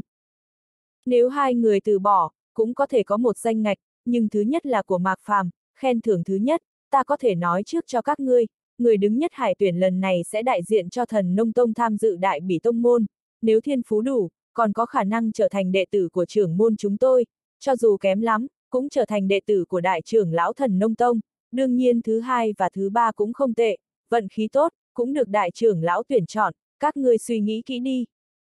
Mạnh Sơn Hà bổ sung thêm. Những lời này vừa vang lên, trước mắt không ít người sáng lên. Đệ tử của trưởng môn, không thể không nói điều kiện này quá hấp dẫn. Phải biết rằng thần nông tông là một trong thập đại tông môn, nếu có thể trở thành đệ tử của trưởng môn, địa vị sẽ lập tức cao lên nhiều. Nhưng động tâm thì động tâm, không ít người nhìn vọng cơ ở đệ nhất cung, Lý Thu Minh ở đệ nhị cung, còn Mạc Phàm hắc mã lớn nhất ở hải tuyển hiện giờ, vội vàng chùn bước. Mạc Phàm thì không cần nói, Lý Thu Minh ở thứ nhất lâu như vậy, tuy mới hạ xuống, nhưng đến bây giờ còn chưa rút kiếm ra. Gần đây vọng cơ ra tay một lần, là đoạt vị trí thứ nhất từ tay Lý Thu Minh. Anh ta là người gần khiến Lý Thu Minh rút kiếm, ngoài ra nếu Mạc Phàm không tham gia hải tuyển lần này, hắc mã lớn nhất là vọng cơ. Vọng cơ ra tay vài lần, đối phó bất luận người nào đều rất thành thạo, đến bây giờ chưa có ai khiến anh ta dùng toàn lực đối phó. Muốn lấy vị trí thứ nhất từ tay ba người này, rất nhiều người ở đây không có bản lĩnh này, vọng cơ, người có suy nghĩ gì? Mạnh Sơn Hà hỏi. Đến bây giờ chưa tới lượt ta quyết định đúng không? Vọng cơ dừng cười, nói. Hôm qua anh ta luôn nghi ngờ, vì sao Mạc Phạm lại tìm tới. Bây giờ vẫn còn nghi ngờ, nhưng hiểu rõ hơn một chút. Đúng là vậy thật. Mạnh Sơn Hà nhíu mày, rời mắt nhìn Lý Thu Minh. Lý Thu Minh, ngươi là người được khiêu chiến kế tiếp, ngươi muốn rời đi không? Ta sao? Lý Thu Minh nhìn chằm chằm Mạc Phàm, khóe miệng luôn nhếch lên tươi cười. Ánh mắt mọi người đều nhìn về phía Lý Thu Minh. Không sai. Mạnh Sơn Hà gật đầu liên tục. Mục đích ta tới đây không chỉ tiến vào thần nông tông, trái lại ta muốn từ bỏ, nhưng kiếm trong tay ta không định từ bỏ, tiểu tử, người muốn đạt được vị trí thứ nhất, phải hỏi kiếm trong tay ta trước đã. Lý Thu Minh hơi nhếch miệng, nói với Mạc Phàm. Lý Thu Minh mới mở miệng, nam tử họ Trúc như sớm dự đoán được, sắc mặt nữ tử họ Lương âm trầm hơn. Được rồi, Mạc Phàm, nếu người muốn lấy được vị trí thứ nhất, bây giờ có thể khiêu chiến đệ nhị cung rồi. Mạnh Sơn Hà cười khẽ nói. Mạc Phàm giống như đã sớm dự đoán được, hắn cất mệnh kiếm, đi lên sân đấu đệ nhị cung của Lý Thu Minh. Tiểu tử, người không định dùng thanh kiếm kia đối phó ta sao? Lý Thu Minh thấy Mạc Phàm cất mệnh kiếm, cười hỏi. Đối phó ngươi, không cần mệnh kiếm này.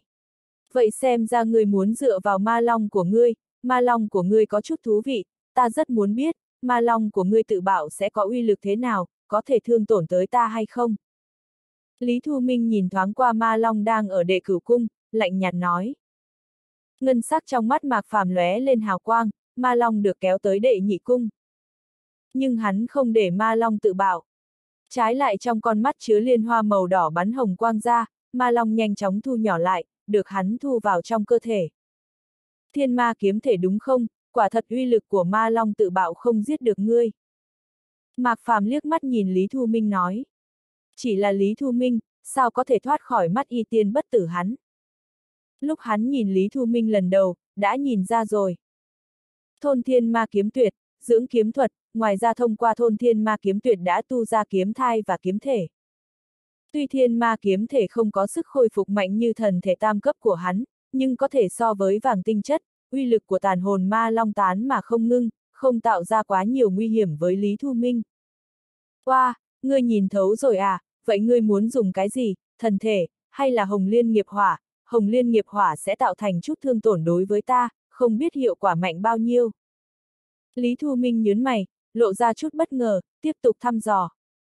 Lý Thu Minh, đừng làm dáng vẻ này với ta, cũng không cần phải hỏi lại, vô ích thôi, ta không cần linh kiếm, cũng không cần tàn hồn ma long, những thứ lúc trước ta dùng sẽ không lấy ra dùng nữa. Mạc Phàm lạnh nhạt nói.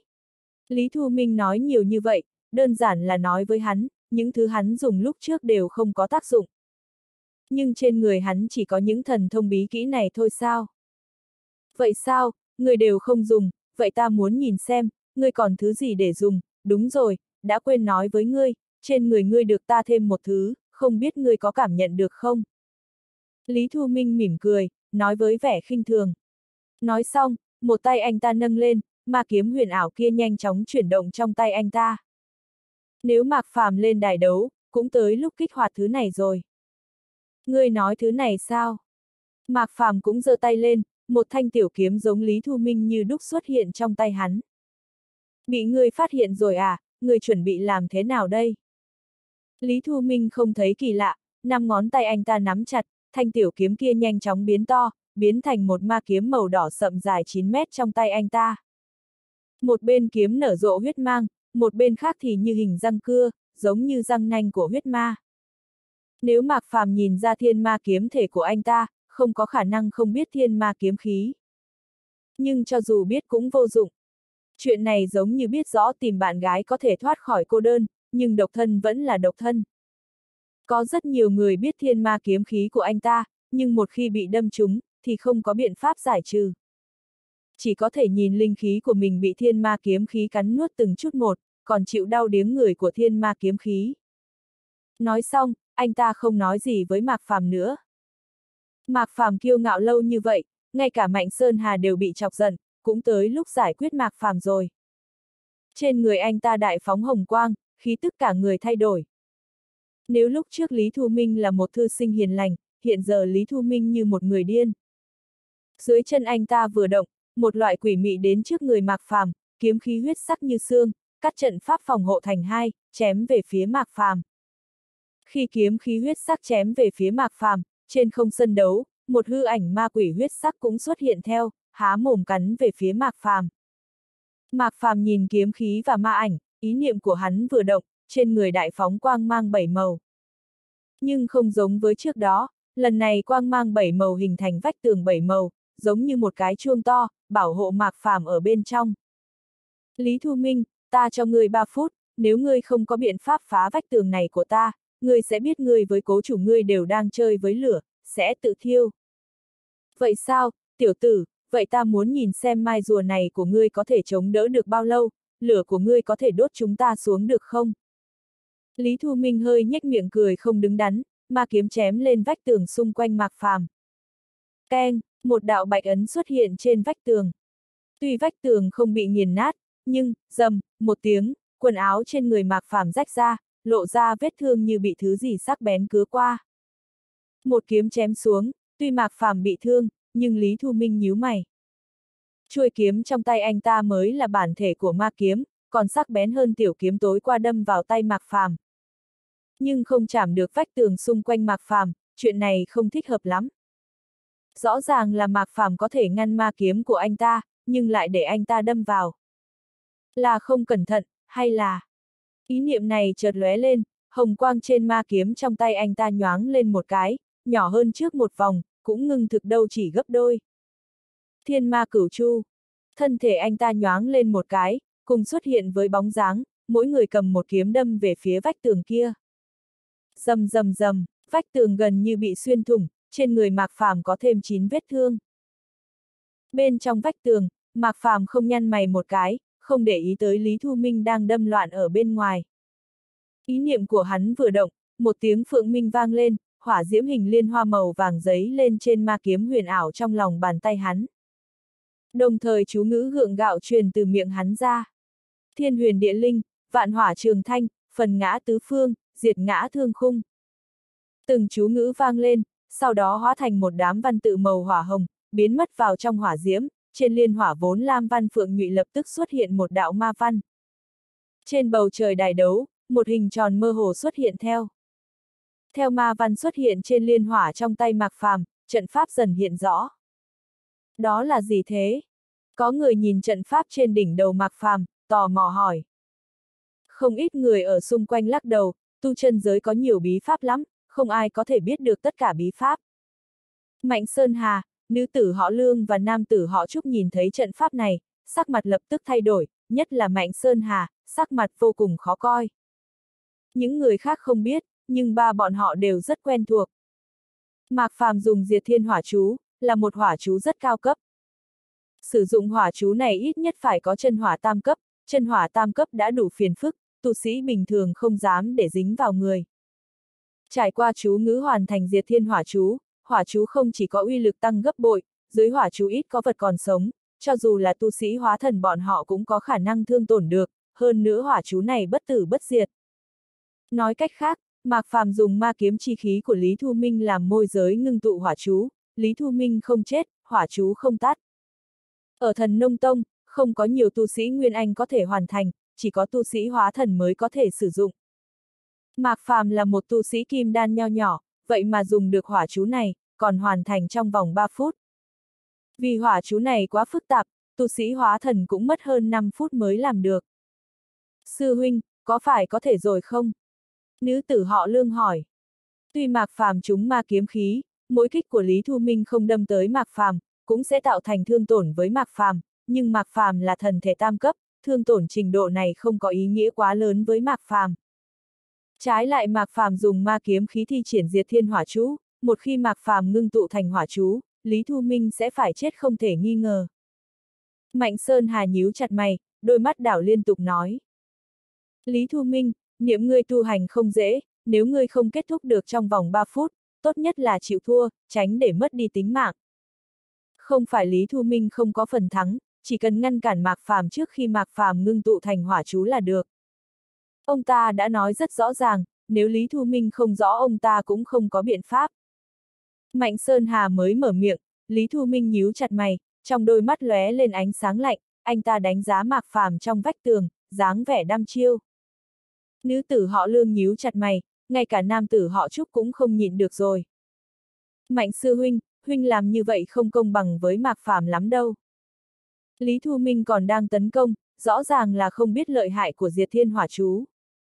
Đừng nói Lý Thu Minh là kim đan đỉnh phong, cũng có tu sĩ hóa thần chết dưới hỏa chú này, Mạnh Sơn Hà làm vậy rõ ràng là đang nhắc Lý Thu Minh. Nếu Trúc Sư Đệ cảm thấy không công bằng, vậy ta cũng nhắc nhở Mạc Phàm một câu. Trên mặt Mạnh Sơn Hà tràn đầy khinh thường, nhìn Mạc Phàm cách đó không xa. Mạc Phàm, thần thể kim cương cháo bất diệt của ngươi không ngăn được một kiếm Lý Thu Minh dưỡng 20 năm, nếu cậu ta rút kiếm ra, nếu ngươi không chịu thua, sẽ mất mạng đó. Lão giả họ Trúc và nữ tử họ Lương nhìn thoáng qua nhau, nhíu mày nhưng không nói gì nữa. Mạnh Sơn Hà nhìn như nhắc nhở Mạc Phàm, nhưng cách thức nói chuyện không khác gì nhắc nhở Lý Thu Minh, thực ra vẫn đang giúp Lý Thu Minh.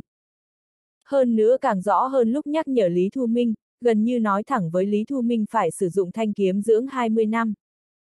Mạc Phàm hơi nhếch miệng, hắn không để ý tới Mạnh Sơn Hà, tiếp tục ngưng tụ diệt thiên hỏa chú. Sau khi hắn luyện hóa Phượng Hoàng Thạch xong là có thể sử dụng hỏa chú này, vốn chuẩn bị cho hải tuyển, vậy thử trên người Lý Thu Minh xem thế nào. Lý Thu Minh do dự một lát, ném ma kiếm trong tay lên không trung, là thanh kiếm dưỡng 20 năm đặt bên hông. Tiểu tử, xem ra không rút kiếm rất khó thắng được ngươi, cũng được, cho ngươi thử kiếm ta dưỡng 20 năm. Không cần Mạnh Sơn Hà nhắc nhở, anh ta cũng cảm nhận được uy lực của hỏa chú mạc phàm ngưng tụ, dù sao anh ta là đối tượng tạo ra hỏa chú. Nếu không có thanh kiếm trong tay, tuy thôn thiên ma kiếm của anh ta có thể thương tổn được mạc phàm, nhưng không có biện pháp ngăn cản mạc phàm ngưng tụ hỏa chú.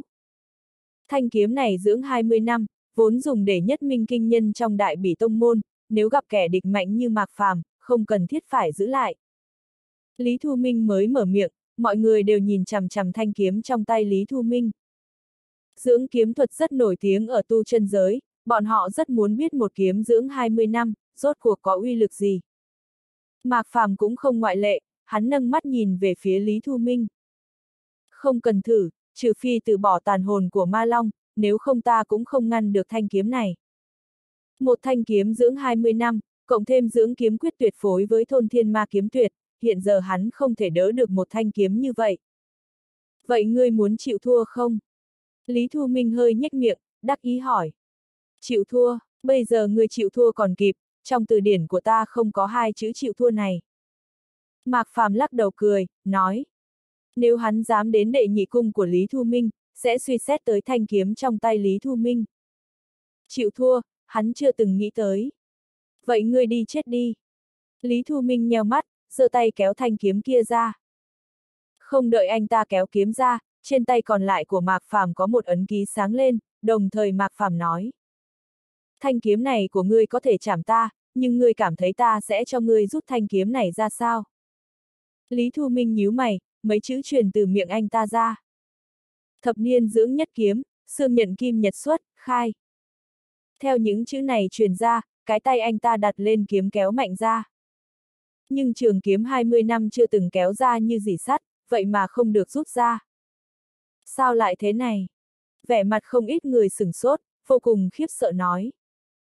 Kiếm cổ trong tay Lý Thu Minh là một linh bảo, đừng nói là 20 năm, 2.000 năm cũng không gì sắt, vậy mà không rút ra được, xảy ra vấn đề gì thế? Không ít người có chút nhãn lực, vội vàng nhìn về phía kiếm cổ trong tay Lý Thu Minh. Chỉ thấy chỗ nối chuôi kiếm và vỏ kiếm, một ký hiệu màu đen dính chặt chuôi kiếm và vỏ kiếm lại. Phong kiếm chú sao? Lão giả họ Trúc hiểu ra, cười thoải mái. Phong kiếm chú là một loại chú ấn lấy máu làm dẫn, phong tỏa binh khí của đối phương, cũng là phương pháp tốt nhất đối phó dưỡng kiếm thuật. Dù sao dưỡng kiếm thuật quá cường đại, rất nhiều kiếm sĩ vì ứng phó tình huống không thể khống chế, từ nhỏ đã dưỡng một thanh kiếm. Sắc mặt Mạnh Sơn Hà xanh mét, trong đôi mắt tràn đầy lửa giận. Phế vật! Ông ta liều mạng trở mặt với hai người Trúc, Lương, cho Lý Thu Minh cơ hội giết Mạc Phàm. Thanh kiếm này của Lý Thu Minh bị Mạc Phàm khóa lại, vậy mà Lý Thu Minh không biết. Sắc mặt Lý Thu Minh càng thay đổi, ước gì có thể xé nát Mạc Phàm. Anh ta đã chuẩn bị giết Mạc Phàm, vào thời khắc quan trọng lại có một vòng trang sức rớt xuống, chuyện này như gặp được một mỹ nữ tuyệt thế, quần đã cởi ra rồi nhưng phát hiện súng không có đạn. Còn ở trước mặt nhiều người như vậy, súng của anh ta không thể dùng. Tiểu tử, người khóa kiếm của ta từ lúc nào? Lý Thu Minh hung dữ nói. Lúc ngươi đâm tay ta, gieo xuống thôn thiên ma kiếm tuyệt trong cơ thể ta, ta phong kiếm của ngươi, cũng coi như là lễ thượng vãng lai đúng không? Mạc Phàm vừa tiếp tục ngưng tụ diệt thiên hỏa chú, vừa lạnh nhạt nói. Sao hắn có thể không ngăn được thôn thiên ma kiếm của Lý Thu Minh, sở dĩ để Lý Thu Minh đâm vào tay hắn, chính là vì chắn thanh kiếm này lại. Một khi rút thanh kiếm này ra, tu sĩ hóa thần cũng bị chém ở dưới kiếm. Hắn có thể nghĩ biện pháp chống đỡ, nhưng phải trả giá không nhỏ. Cho nên khóa lại thì hơn. Vẻ mặt Lý Thu Minh ngẩn ra, trong mắt đều là không thể tin được, sau đó lập tức thay bằng phẫn nộ. Ngày hôm qua anh ta đi khiêu khích Mạc Phàm, cố ý khống chế mạnh vô kỳ ép Mạc Phàm ra tay, để gieo thôn thiên ma kiếm khí lên người Mạc Phàm. Quả thực anh ta thực hiện được, nhưng thực ra anh ta mới là người rơi vào bẫy của Mạc Phàm. Anh ta vừa sinh ra đã là thiên tài của kiếm mộ tinh, cho đến bây giờ đều là anh ta đùa giỡn người khác, đây là lần đầu tiên bị người ta đùa giỡn. Được rồi, không ngờ ta lại bị ngươi tính kế, nhưng ngươi đừng nghĩ tới chuyện mình sẽ thắng dễ dàng, không có thanh kiếm này, ta vẫn có thể giết ngươi. Anh ta cắm mạnh thanh kiếm cổ xuống đất, quang mang ám hồng nở rộ trong mắt anh ta, một tay anh ta vươn về phía bầu trời, mà kiếm huyết sắc kia lập tức bay vào trong tay anh ta. Thôn thiên kiếm ma, tại ngã chi thân. Những lời này vừa vang lên, bỗng nhiên tay anh ta dùng lực, mà kiếm màu đỏ nổ tung, hóa thành một hư ảnh ác ma khoác chiến giáp màu đỏ. Ác ma này vừa xuất hiện, bao gồm cả vọng cơ bên trong không ít người cảm thấy đau xót, giống như bị trường kiếm sắc bén chém lên người, một đạo vết thương xuất hiện trên người bọn họ. Sau đó một đạo khí thể màu đỏ bay từ vết thương trong cơ thể bọn họ ra, bay về phía ác ma kia. Theo khí thể màu đỏ nhập vào, hư ảnh ác ma lập tức ngưng thực hơn nhiều, trên không đấu cung lập tức bị một vùng mây màu máu che khuất, cho dù cách xa cũng có thể nhìn thấy. Đó, đó là thứ gì? Có người chỉ về phía Hồng Vân hỏi. Thấy vùng Hồng Vân này, Mạnh Sơn Hà vốn nhíu mày, sau đó khóe miệng ông ta hơi nhếch lên.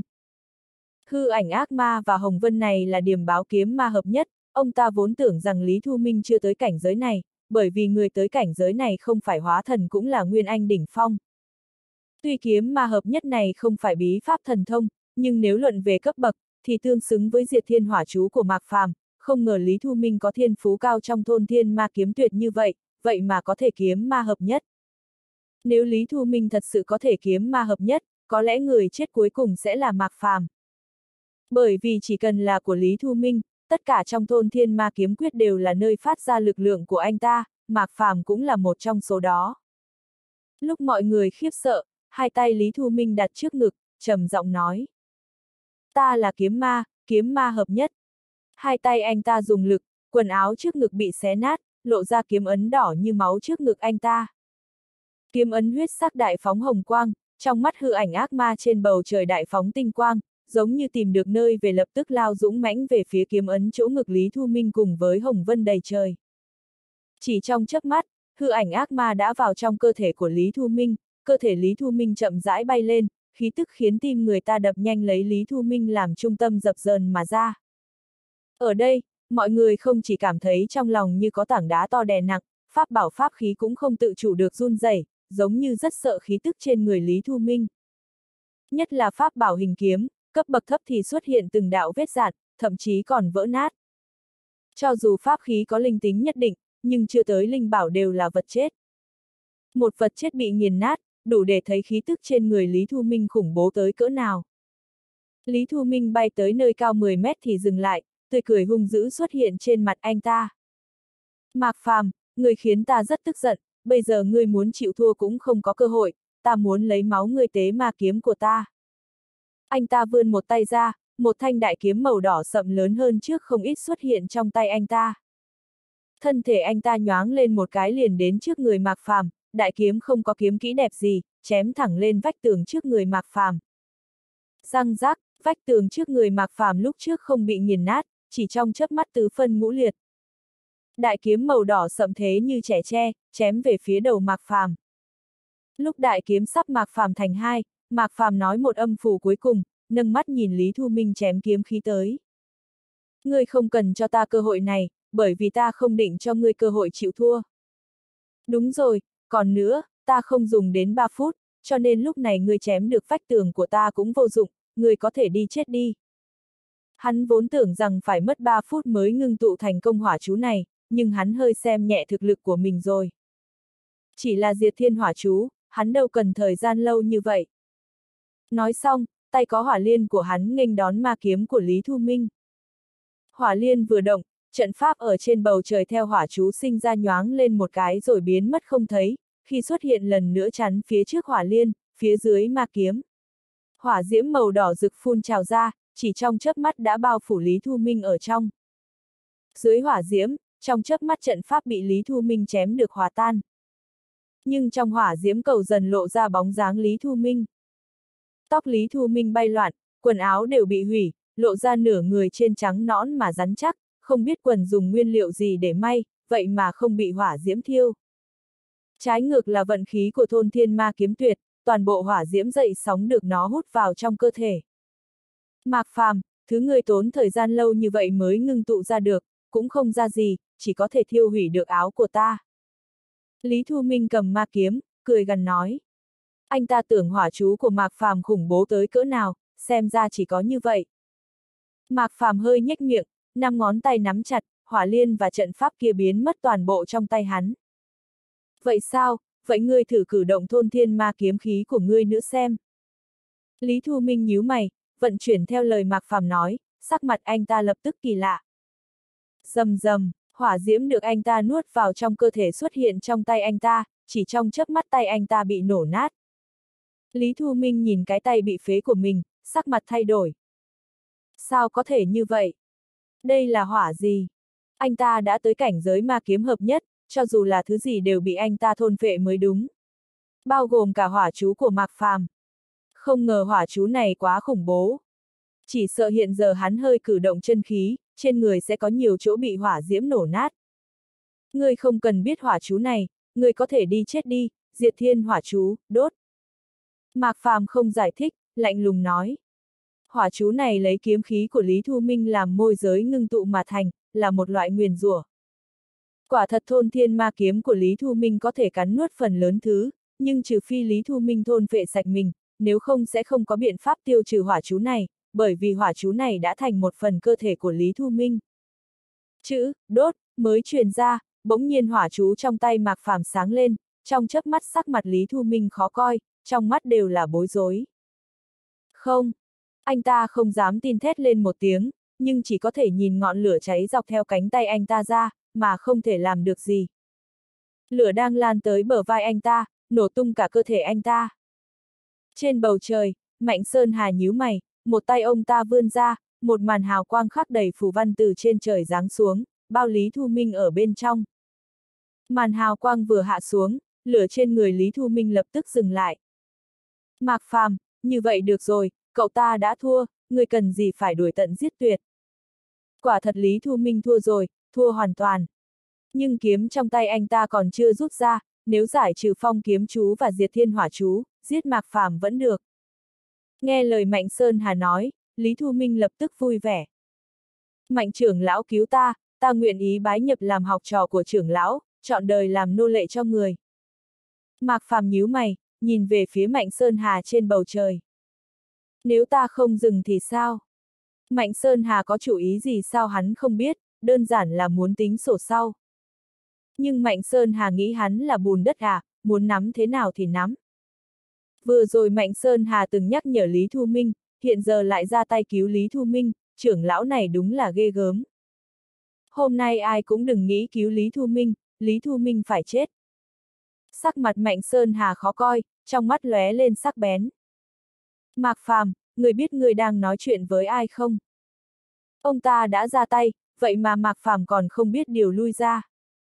Mạnh Sơn Hà, trưởng lão, người biết người đang làm gì không? Tuy Mạnh Sơn Hà là trưởng lão, nhưng ra tay can thiệp quyết đấu là trái với quy củ. Mạc Phàm vừa nói xong, nữ tử họ Lương và nam tử họ Trúc tiến về phía trước một bước, đi tới nơi song song với Mạnh Sơn Hà. Mạnh sư huynh, Lý Thu Minh còn chưa chịu thua, huynh đây là... Nam tử họ Trúc thản nhiên hỏi. Mạnh Sơn Hà nhíu chặt mày, lạnh lùng liếc Mạc Phàm một cái, không biết nên giải thích thế nào. Quả thật ông ta vượt danh giới, nhưng nếu không phải nơi này có nhiều người như vậy, còn có nữ tử họ Lương và nam tử họ Trúc ở đây, ông ta nhất định sẽ ra tay diệt Mạc Phàm. Mạc Phàm thấy Mạnh Sơn Hà không nói lời nào, nói tiếp. Còn nữa, Mạnh trưởng lão làm vậy cũng vô dụng thôi, ta nói anh ta phải chết, anh ta sẽ chết, còn nữa, ta muốn thanh kiếm kia của anh ta. Nói xong, bàn tay nắm giữ diệt thiên hỏa chú của hắn vươn về phía Lý Thu Minh trong vòng sáng. Chiêm chiếp, tiếng phượng minh thanh thúy vang lên, hỏa chú hóa thành phượng hoàng huyền ảo, bỗng nhiên bay về phía Lý Thu Minh trong vòng sáng, trong chớp mắt đã tới trước màn hào quang. Nhưng màn hào quang bị phượng hoàng xuyên qua. Không, không, ta nhận. Lý Thu Minh lắc đầu liên tục, chữ thua, còn chưa nói ra, phượng hoàng đã biến mất vào trong cơ thể anh ta. Răng rác, âm thanh giống như đồ sứ văng tung tóe vang lên, trong chớp mắt trên người Lý Thu Minh đầy vết dạn. Ngay sau đó hỏa diễm bắn từ trong ra, Lý Thu Minh hóa thành một đống mảnh nhỏ, nhanh chóng biến mất trong hỏa diễm. Tất cả mọi người ở đây đều sợ ngây người. Mạnh Sơn Hà đã ra tay, đổi lại là người khác chắc chắn sẽ tha cho Lý Thu Minh. Dù sao đối phương là người của thần nông tông, còn là trưởng lão của hải tuyển lần này. Nhưng Mạc Phàm giết Lý Thu Minh trước mặt bao người, không thể nghi ngờ chuyện này như tát mạnh vào mặt Mạnh Sơn Hà. Mạc Phàm còn chưa đi vào thần nông tông, vậy mà chơi như vậy với Mạnh Sơn Hà, không khác gì muốn chết. Mạc Phàm, người muốn chết à? Mạnh Sơn Hà thấy Lý Thu Minh biến mất trong hỏa diễm, đôi mắt ông ta nheo lại, một trường không chút do dự đánh về phía Mạc Phàm. Một tiểu tử hạ giới như Mạc Phàm cũng dám đối nghịch với ông ta như vậy, nếu có thể tha cho Mạc Phàm, mặt mũi của mạnh gia ông ta có còn không? Không chỉ như vậy, Lý Thu Minh là quân cờ mạnh gia bọn họ bồi dưỡng nhiều năm như vậy, mạnh gia định dẫn anh ta vào thần nông tông để tăng thực lực ở thần nông tông, lần này đều bị hủy trong tay Mạc Phàm. Đã chết nhiều người như vậy, ông ta không chỉ không có biện pháp công đạo với thần nông tông, cũng không có biện pháp báo cáo kết quả công việc với mạnh gia. Một tay ông ta đánh tới, bầu trời lập tức tối sầm lại. Thủ ấn khổng lồ trên bầu trời như ngũ chỉ sơn, một loại rời núi lấp biển rơi về phía Mạc Phàm. Ở đây ngoại trừ Mạc Phàm ra sắc mặt mọi người đều thay đổi, giống như gặp được thiên tai ngập đầu. Nữ tử họ Lương và nam tử họ Trúc thấy Mạnh Sơn Hà ra tay, vẻ mặt cũng thay đổi, không chút do dự ra tay. Nữ tử họ Lương lấy một chiếc khăn tay ra, khăn tay sáng lên, một kết giới xuất hiện, chắn ở phía dưới đại thủ. Trên người nam tử họ Trúc xuất hiện kim quang nhạt, cũng chắn trước người Mạnh Sơn Hà, một tay nắm lấy cổ tay Mạnh Sơn Hà kéo xuống. Sư huynh, huynh giết cậu ta cũng được, nhưng huynh phải nghĩ kỹ trở về báo cáo kết quả công việc thế nào. Mạnh Sơn Hà bị hai người ngăn cản, trong đôi mắt tràn đầy lửa giận. Chỉ trong phút chốc năm ngón tay ông ta nắm chặt, trong chớp mắt đại thủ có thể hủy thiên diệt địa biến mất. Tiểu tử, chúng ta đợi coi, ta xem cuối cùng ngươi có thể tiến vào thần nông tông hay không. Trên sân đấu, Mạc Phàm giống như dự đoán được, một tay hắn vươn về phía gần thi thể Lý Thu Minh. Vù, một tiếng, kiếm cổ của Lý Thu Minh bay vào trong tay hắn. Hắn liếc mắt nhìn về phía thanh kiếm kia một cái, trong mắt chớp lóe tinh quang, phong kiếm chú trên thân kiếm sáng vài cái rồi biến mất không thấy, khí tức giống như khói báo động lập tức xông thẳng lên trời, ép về phía Mạnh Sơn Hà. Nói xong, hắn lập tức đi lên đệ nhất cung dưới ánh mắt của mọi người. Không phải Mạnh Sơn Hà muốn chơi với hắn sao, vậy thì chơi tới cùng. Vọng cơ sư huynh, ta muốn khiêu chiến với huynh, thỉnh chỉ giáo. Lần này sắc mặt Mạnh Sơn Hà xanh mét, càng khó coi hơn vừa rồi, giống như bị tát một cái xong, lại bị đạp mạnh một cái. Mạc Phàm khiêu chiến vọng cơ, nếu vọng cơ rời đi, trong 10 người bọn họ chọn chỉ có mình Mạc Phàm là thiên tài, những người khác còn tạm, nhưng kém Lý Thu Minh, vọng cơ rất nhiều. Nhưng ông ta nắm chặt tay, không nói gì nữa. Vừa rồi ông ta ra tay với Mạc Phàm, đã xem như phá hủy quy củ. Hạng nhất của thần nông tông là danh môn chính phái tự cho rằng như vậy, danh tiếng rất tốt đối với bên ngoài. Nếu lại ra tay, ông ta trở về sẽ bị trừng phạt. Đệ nhất cung, vọng cơ hơi nhếch miệng, ánh mắt nhìn Mạc Phàm thay đổi. Thực lực của Mạc sư đệ thật sự kinh người, ta cũng không phải đối thủ của đệ, ta sẽ rời khỏi hải tuyển lần này. Tuy anh ta không biết rốt cuộc Mạc Phàm có bí mật gì, nhưng từ thái độ tối qua của Mạc Phàm đối với anh ta và Lã Hồng Nhu, dựa theo lời Mạc Phàm nói sẽ không phải là chuyện tốt.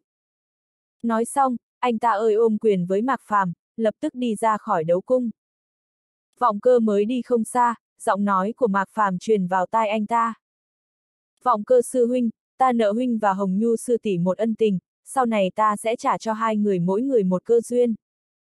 Lần này hắn xem như đắc tội mạnh ra, vọng cơ sư huynh và Hồng Nhu sư tỷ rời đi, không có khả năng Mạnh Sơn Hà không nhìn ra hai người có không ít quan hệ với hắn. Với hiểu biết của hắn về Mạnh Gia, Mạnh Gia khó mà không động tay động chân với hai người.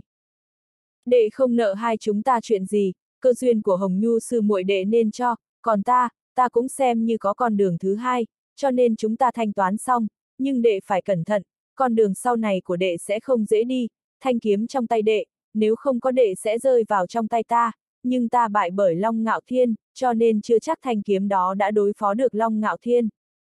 Vọng cơ cười, vừa xuống núi vừa truyền âm. Lã Hồng Nhu được người ta mời đi luyện đan, anh ta không biết Mạc Phàm làm thế nào, nhưng phần lớn là vì Mạc Phàm. Trước khi anh ta tới Thanh Thành, từng có cao thủ thiên mệnh huyền thuật tính cho anh ta. Nếu có người có thiên phú hơn anh ta xuất hiện, anh ta mới tránh được một kiếp, rõ ràng Mạc Phàm là người có thiên phú cao hơn đó. Ngoài ra nếu không có Mạc Phàm, lúc anh ta đấu với Lý Thu Minh sẽ không để Lý Thu Minh rút thanh kiếm này ra, còn cướp thanh kiếm đó. Anh ta đoạt thanh kiếm này vẫn bị Long Ngạo Thiên phế, nói lên thanh kiếm này không đủ để đối phó Long Ngạo Thiên. Quả thật thanh kiếm này không đủ, đây chỉ là một trong những thứ ta đối phó Long Ngạo Thiên. Mạc Phàm cười nhạt, thanh kiếm này là bội kiếm của vọng cơ sư huynh ở kiếp trước, đã bị bẻ gãy dưới tay Long Ngạo Thiên. Tất nhiên hắn biết thanh kiếm này không đối phó được Long Ngạo Thiên, chỉ là hắn không định dựa vào thanh kiếm này đối phó Long Ngạo Thiên. Vậy là được rồi, chúc đệ may mắn. Vọng cơ nhớn mày, không nói gì nữa rời khỏi đấu cung, biến mất trong biển người.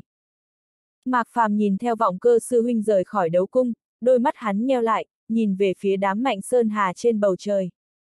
Mạnh trưởng lão, bây giờ ta có tư cách lấy được danh ngạch thứ nhất này chưa, hay là ta cần thêm khảo nghiệm khác nữa? Mạnh Sơn Hà nhíu chặt mày, ông ta còn chưa mở miệng, nam tử họ Trúc ở bên cạnh mở miệng. Mạnh sư huynh, theo ta thấy, danh ngạch thứ nhất này ngoại trừ mạc công tử ra thì không còn ai khác, huynh xem cần khảo hạch khác không? Ta cũng thấy nên cho tiểu tử này đệ nhất. Nữ tử họ lương nói tiếp.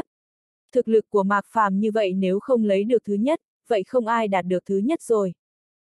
Nếu không cho mạc phàm thứ nhất, chỉ sợ mạc phàm sẽ quét thêm một đợt nữa, đến lúc đó hải tuyển của bọn họ sẽ vô nghĩa. Cho dù là bây giờ, bọn họ trở về cũng khó tránh khỏi không bị trừng phạt. Mạnh Sơn Hà nhíu chặt mày, thứ nhất có khả năng trở thành đệ tử của trưởng môn. Nếu để cho Mạc Phàm, thân phận của Mạc Phàm sẽ lập tức tương đương với lão tổ của Mạnh gia bọn họ.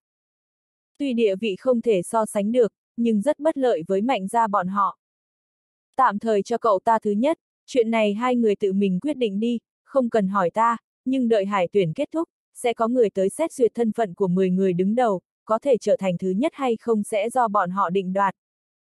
Mạnh Sơn Hà do dự một lát, nói.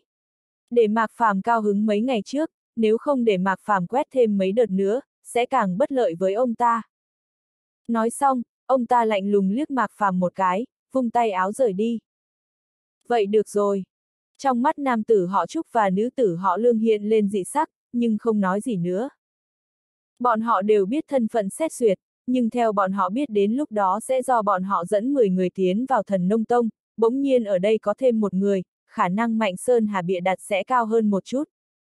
Xem ra Mạnh Sơn Hà vẫn chưa từ bỏ ý định. Chỉ nghĩ một lát, hai người thoải mái hơn. Mạnh Sơn Hà ra tay với Mạc Phàm, đã gợi địch ý với Mạc Phàm. Nếu Mạnh ra để Mạc Phàm trở thành thứ nhất, chẳng khác nào tặng một lễ vật siêu lớn cho kẻ địch. Mạc Phàm muốn lấy hạng nhất tiến vào thần nông tông, quả thật không đơn giản như vậy. Hai người liếc mắt nhìn Mạc Phàm trong đấu cung một cái, đều lắc đầu. Nữ tử họ lương lấy một lệnh bài màu vàng ra, ném cho Mạc Phàm, nhắc nhở.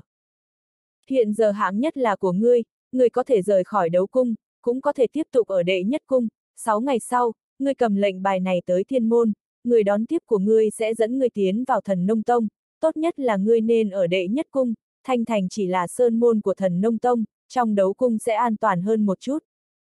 Mạc Phàm nhận lấy lệnh bài, khẽ gật đầu với nữ tử họ Lương và nam tử họ Trúc. Tuy Mạnh Sơn Hà không khảo hạch gì thêm, nhưng chắc chắn sẽ không bỏ qua.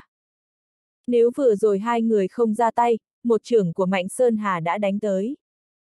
Nam tử họ chúc cười với Mạc Phàm, rời mắt nhìn những người khác ở đấu cung. Hiện giờ ngoại trừ đệ nhất cung ra, các cung khác đều chống, muốn gia nhập thần nông tông ta, thì dựa theo quy tắc trước tiếp tục khiêu chiến từ đệ nhị đến đệ thập cung. Những lời này vừa vang lên, lúc này đấu cung mới chậm rãi khôi phục lại bình thường trong hỗn loạn lúc trước, nhưng rất lâu không thể bình tĩnh lại. Mạc Phàm hơi nhếch miệng, truyền âm cho Mạnh Vô Kỳ, sau đó xoay người vào đấu cung. Audio điện tử võ tấn bền. Hết tập 68